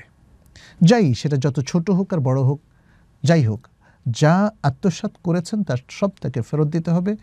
তিনি যদি মারা যান, তার ওয়ারিসদের কাছে ফেরত দিতে হবে। এবং কিছু কিছু ক্ষেত্রে হয়তো ফেরত দেওয়ার বিষয় আসবে না, ক্ষমা চাওয়ার বিষয় আসতে পারে। যেমন আপনি তার গিবত করেছেন, আপনি তার ক্ষতি করেছেন, আপনি তাকে মনে কষ্ট দিয়েছেন, তাকে গালিগালাজ করেছেন, তখন তার কাছ থেকে ক্ষমা চেয়ে নিতে হবে। কারণ এগুলো মানুষের মর্যাদাকে আল্লাহ তালা এত মানে মানে গুরুত্ব দিয়েছেন যে ব্যক্তিকে আঘাত করা আর তার মানিজ্জতকে আঘাত করা, সেম জিনিস। অতএব তার কাছ থেকে ক্ষমা চেয়ে যদি না নেন, তাহলে এটা ক্ষমা হবে না। এই অংশটা আর ক্ষমা হবে না। তওবাটা হয়তো আংশিক হবে, বাট এই অংশটা ক্ষমা হবে না। আল্লাহ আমাদেরকে সঠিকভাবে তবা করার তৌফিক দান করুন। দ্বিতীয় প্রশ্ন হচ্ছে, জীবন করেছেন যারা এক ওয়াক্ত নামাজও কমপ্লিট করতে পারে না, এর আগে অত্যধিক গ্যাসের কারণে অজু ভেঙে যায়। একটা লেকচারে শুনেছি, তাদেরকে মাজুর বলা হয়, আর তার বিধান হচ্ছে প্রত্যেক ওয়াক্তর জন্য আলাদা করে অজু করা। ঠিক ঠিক শুনেছেন এবং ঠিক বলেছেন। এখন জানতে চাই তাহাজুদ আর ফজর সালাত তো পরপরই। তাহাজুদ আর ফজরের সালাত কি মাজুররা একও যদি আদায় করতে পারবে? পারবে। পারবে যদি আপনি যেমন ওই ওয়াক্তের মধ্যে যতগুলো সালাত আছে আপনি পড়তে চান। তবে মনে রাখবেন, এটা হচ্ছে আপনার এই গ্যাসের কারণে। যদি সেটা কিছুক্ষণ পর পর বের হওয়ার এই ব্যাধিটা থাকে। কিন্তু কেউ যদি আবার মাঝখান দিয়ে বাথরুম করে, যদি সে বলে যে, না, যেহেতু গ্যাস দিয়েও অজু ভাঙছে, বাথরুম অজু ভাঙছে, আমি আর অজু করব না। সেটা হবে না। আপনার অন্য কোনো কার্যকরণের কারণে যদি অজুটা আপনি ভাঙেন, সেক্ষেত্রে আপনাকে আবার অজু করতে হবে। তবে গ্যাসটা কন্টিনিউ যদি চলতে থাকে, আর কোনো অজু ভঙ্গকারী কিছু ঘটলো না, তখন আপনি যেমন এশার সালাতের অজু দিয়ে ফজর আগ পর্যন্ত আপনি তাহাজ্জুদে পড়তে কোনো অসুবিধা নেই। শীতের দিনে বারবার অজু করতে কষ্টকর হয়ে যায়, এটা সবারই কষ্ট হয়। কিন্তু তার জন্য তো আপনি জান্নাত পাবেন, তাই না? এর ফজিলাতের কথা এসেছে। সুতরাং আমরা শীতের দিনে যদি ঠান্ডা পানি দিয়ে উজু করতে হয়, করব। কিন্তু গরম পানির তো সুযোগ আছে। কেউ যদি গরম পানি বা হালকা কুসুম পানি দিয়ে উজু করতে চান, সেটা তো শরীয়তে নিষিদ্ধ নয়। অতএব আপনি হালকা কুসুম পানি দিয়ে উজু করেন, যদি আপনার ঠান্ডা পানি দিয়ে উজু করাটা কষ্টকর হয় কিংবা ক্ষতিকর হয়। মোসাম্মদ আয়শা মনিরা বলেছেন, রুকু, সেজদায় একবার করে কি তাসবি পড়া যায়? হ্যাঁ একবার তাসবি বললে আপনার শুদ্ধ হয়ে যাবে, কোনো অসুবিধা নেই। শাহরিন রহমান বলেছেন, সরকারিভাবে যদি কোনো শীতবস্ত্র বিতরণ করা হয়, সেই শীতবস্ত্র কি যে কেউ নিতে পারবে? মানে যারা সচ্ছল সরকারিভাবে হোক, বেসরকারিভাবে হোক, যারা শীতবস্ত্র বিতরণ করছেন তারা কি এইটা যে কোনো মুসলিমকে দেওয়ার জন্য নিয়ে এসছেন, তাহলে সচ্ছল, অসচ্ছল সবাই সেটা নিতে পারবে, সবাইকে তারা দিতে পারবেন। কিন্তু যারা বিতরণ করছেন, তাদেরকে যদি কেউ এজন্য পাঠায় যে এই শীতবস্ত্রগুলো শুধুমাত্র দরিদ্র পীড়িত এবং যারা দুস্থ, তাদেরকে দেওয়া হবে, তাহলে সেটা কোনো সচ্ছল ব্যক্তি নিতে পারবে না। যিনি পাঠিয়েছেন, যিনি কিনে এদেরকে পাঠিয়েছেন বিতরণ করার জন্য সেই ব্যক্তি যে শর্ত আরোপ করেছেন, সেই শর্ত অনুযায়ী এটা নির্ধারণ হবে। অতএব যে কোনো শীতবস্ত্র যে কেউ নিতে পারবে না, এটা নির্ভর করবে তাদেরকে কোন অ্যাসাইনমেন্ট এবং কোন নির্দেশনা দিয়ে পাঠানো হয়েছে। যদি সবার জন্য দেওয়ার নির্দেশনা থাকে, তাহলে যে কেউ নিতে পারবেন। আর যদি নির্দিষ্ট কোনো একটা শ্রেণির জন্য পাঠিয়ে থাকেন, তাহলে ওই শ্রেণি এর বাইরে আর কাউকে সেটা দেওয়া যাবে না। কেউ নিলেও সেটা জুলুম হবে, আর দিলেও সেটা জুলুম হবে, আল্লাহ আমাদেরকে রক্ষা করুন। খালিদা নাসরিন বলেছেন, নফল নামাজ তাহাজ্জুদের সময়, রুকু, সেজদা বা তাহাজ্জুদ শেষে, তাশাহুদ শেষে মোনাজাতের বাক্যগুলো আরবিতে বা বাংলাতে মনের একান্ত ব্যক্তিগতভাবে পড়া যাবে কি না নফল নামাজ রুকু, রুকুটা না, রুকু আপনাকে আরবিতেই বলতে হবে, এর আদকার। রুকু কিন্তু দোয়ার জায়গা না। দোয়ার জায়গা হলো সেজদার জায়গা। আপনি সেজদার যে আদকারগুলো আছে সেগুলো পড়ে তারপর আপনি মনের মাধুরী মিশিয়ে দোয়া করতে পারেন। যেহেতু রসুল সাল্লাহ সাল্লাম থেকে স্পষ্ট সহিহাদিসে এসেছে, তিনি বলেন, বলেছেন ফৈজ তাহেদু লাহুফিদ দোয়া। বলেছেন, আকরাবু মা ইয়াকুনুল আব্দু রব্বিহি ও সাজিদ। বান্দা তার রবের সবচেয়ে কাছে থাকে যখন সে সেজদারত থাকে। তোমরা সেজদায় আল্লাহকে ডাকো, আল্লাহর কাছে দোয়া করতে থাকো। ফাঁকা মিলুন আইস্তা জাবেলা আশা করা যায় যে এই দোয়া কবুল হওয়ার সবচেয়ে বেশি উপযোগী হবে। সুতরাং আমরা সেজদার মধ্যে দোয়া করতে পারি, কারণ এখানে বলা হয়নি যে শুধু দোয়া মাসুরাগুলো পড়বেন আপনি, এর বাইরেও দোয়া করতে পারেন। আর ঠিক তেমনি তাহা তাসাহুদ শেষে এবং দুরুদের শেষে সালাম ফেরানোর আগে এটাও দোয়া করার জায়গা, এখানে আপনি দোয়া করতে পারেন। প্রশ্ন হচ্ছে, আপনি বাংলায় করতে পারবেন কিনা বা অন্য কোনো ভাষাতে যে ভাষাটা আপনার নেটিভ ল্যাঙ্গুয়েজ উত্তর হচ্ছে বিশুদ্ধ মত অনুযায়ী পারবেন। এটাই বিশুদ্ধ মত। ওলামাইকেরাম এই বিষয়ে ইখতলাফ করেছেন। অনেক ওলামাইকেরাম বলেছেন যে না, সালাতের কোনো একটা অংশে আরবিতে ছাড়া কথা বলা যাবে না। আরবিতেই। দোয়াও আরবিতে, যা কিছু করেন সব আরবিতে। কিন্তু ওলামা কেরামার আরেক দল বলেছেন যে দোয়ার জায়গাগুলো, যেহেতু মানুষ দোয়া তো আসলে নিজের ভাষা ছাড়া করতে পারে না, অনারবরা আছে। আর দোয়াতে নিজের মনের মাধুরী মিশিয়ে দোয়া করা জায়েজ। যেখানে রাসুল সাল্লাহ আসলাম যে দোয়াগুলো শিখেছেন এর বাইরে আরবিতেও যখন জায়েজ হয়, তখন আল্লাহর কাছে একজন ব্যক্তি কি চাচ্ছে সে তো আরবিতে বানিয়ে বানিয়ে নিজের দোয়াগুলো করতে পারে না, তাহলে সে অন্য ভাষায় দোয়া করতে পারবে। এটা ওলামাই কেরাম, আমাদের শাহেকদের মধ্যে, মদিনা ইউনিভার্সিটির অনেক প্রফেসররা এ মতের পক্ষে মতামত দিয়েছেন, আমরাও সে মতামত দিচ্ছি। এটা একটা ইজতেহাদি মত, অতএব এটা নিয়ে আসলে বাড়াবাড়ি বা কাদা ছড়াছড়ি কোনো সুযোগ নেই। যার মনে হয় মানে তিনি এই মতটা নিতে পারেন, যদি মনে করেন যে না, আমি সব আরবিতে পড়ব আহলান সাহলান, কোনো অসুবিধা নেই। তো আমাদের প্রিয় দর্শক ভাই বোনদেরকে ধন্যবাদ জানাচ্ছি যারা এতক্ষণ আমাদের সাথে ছিলেন। আমরা কোরআন সুন্না ভিত্তিক কথা বলার চেষ্টা করেছি। আল্লাহর কাছে আশা করছি যে আমাদের শুদ্ধ কথাগুলো এর জন্য তিনি যেন আমাদেরকে পুরস্কৃত করেন আর ভুলগুলোর জন্য আমাদেরকে ক্ষমা করেন। হাদা ওসল্লাহ ওসাল্লাম আলা নবীনা মোহাম্মদ। وعلى آله وأصحابه أجمعين. سبحانك اللهم وبحمدك. أشهد أن لا إله إلا أنت. أستغفرك وأتوب إليك. والسلام عليكم ورحمة الله وبركاته.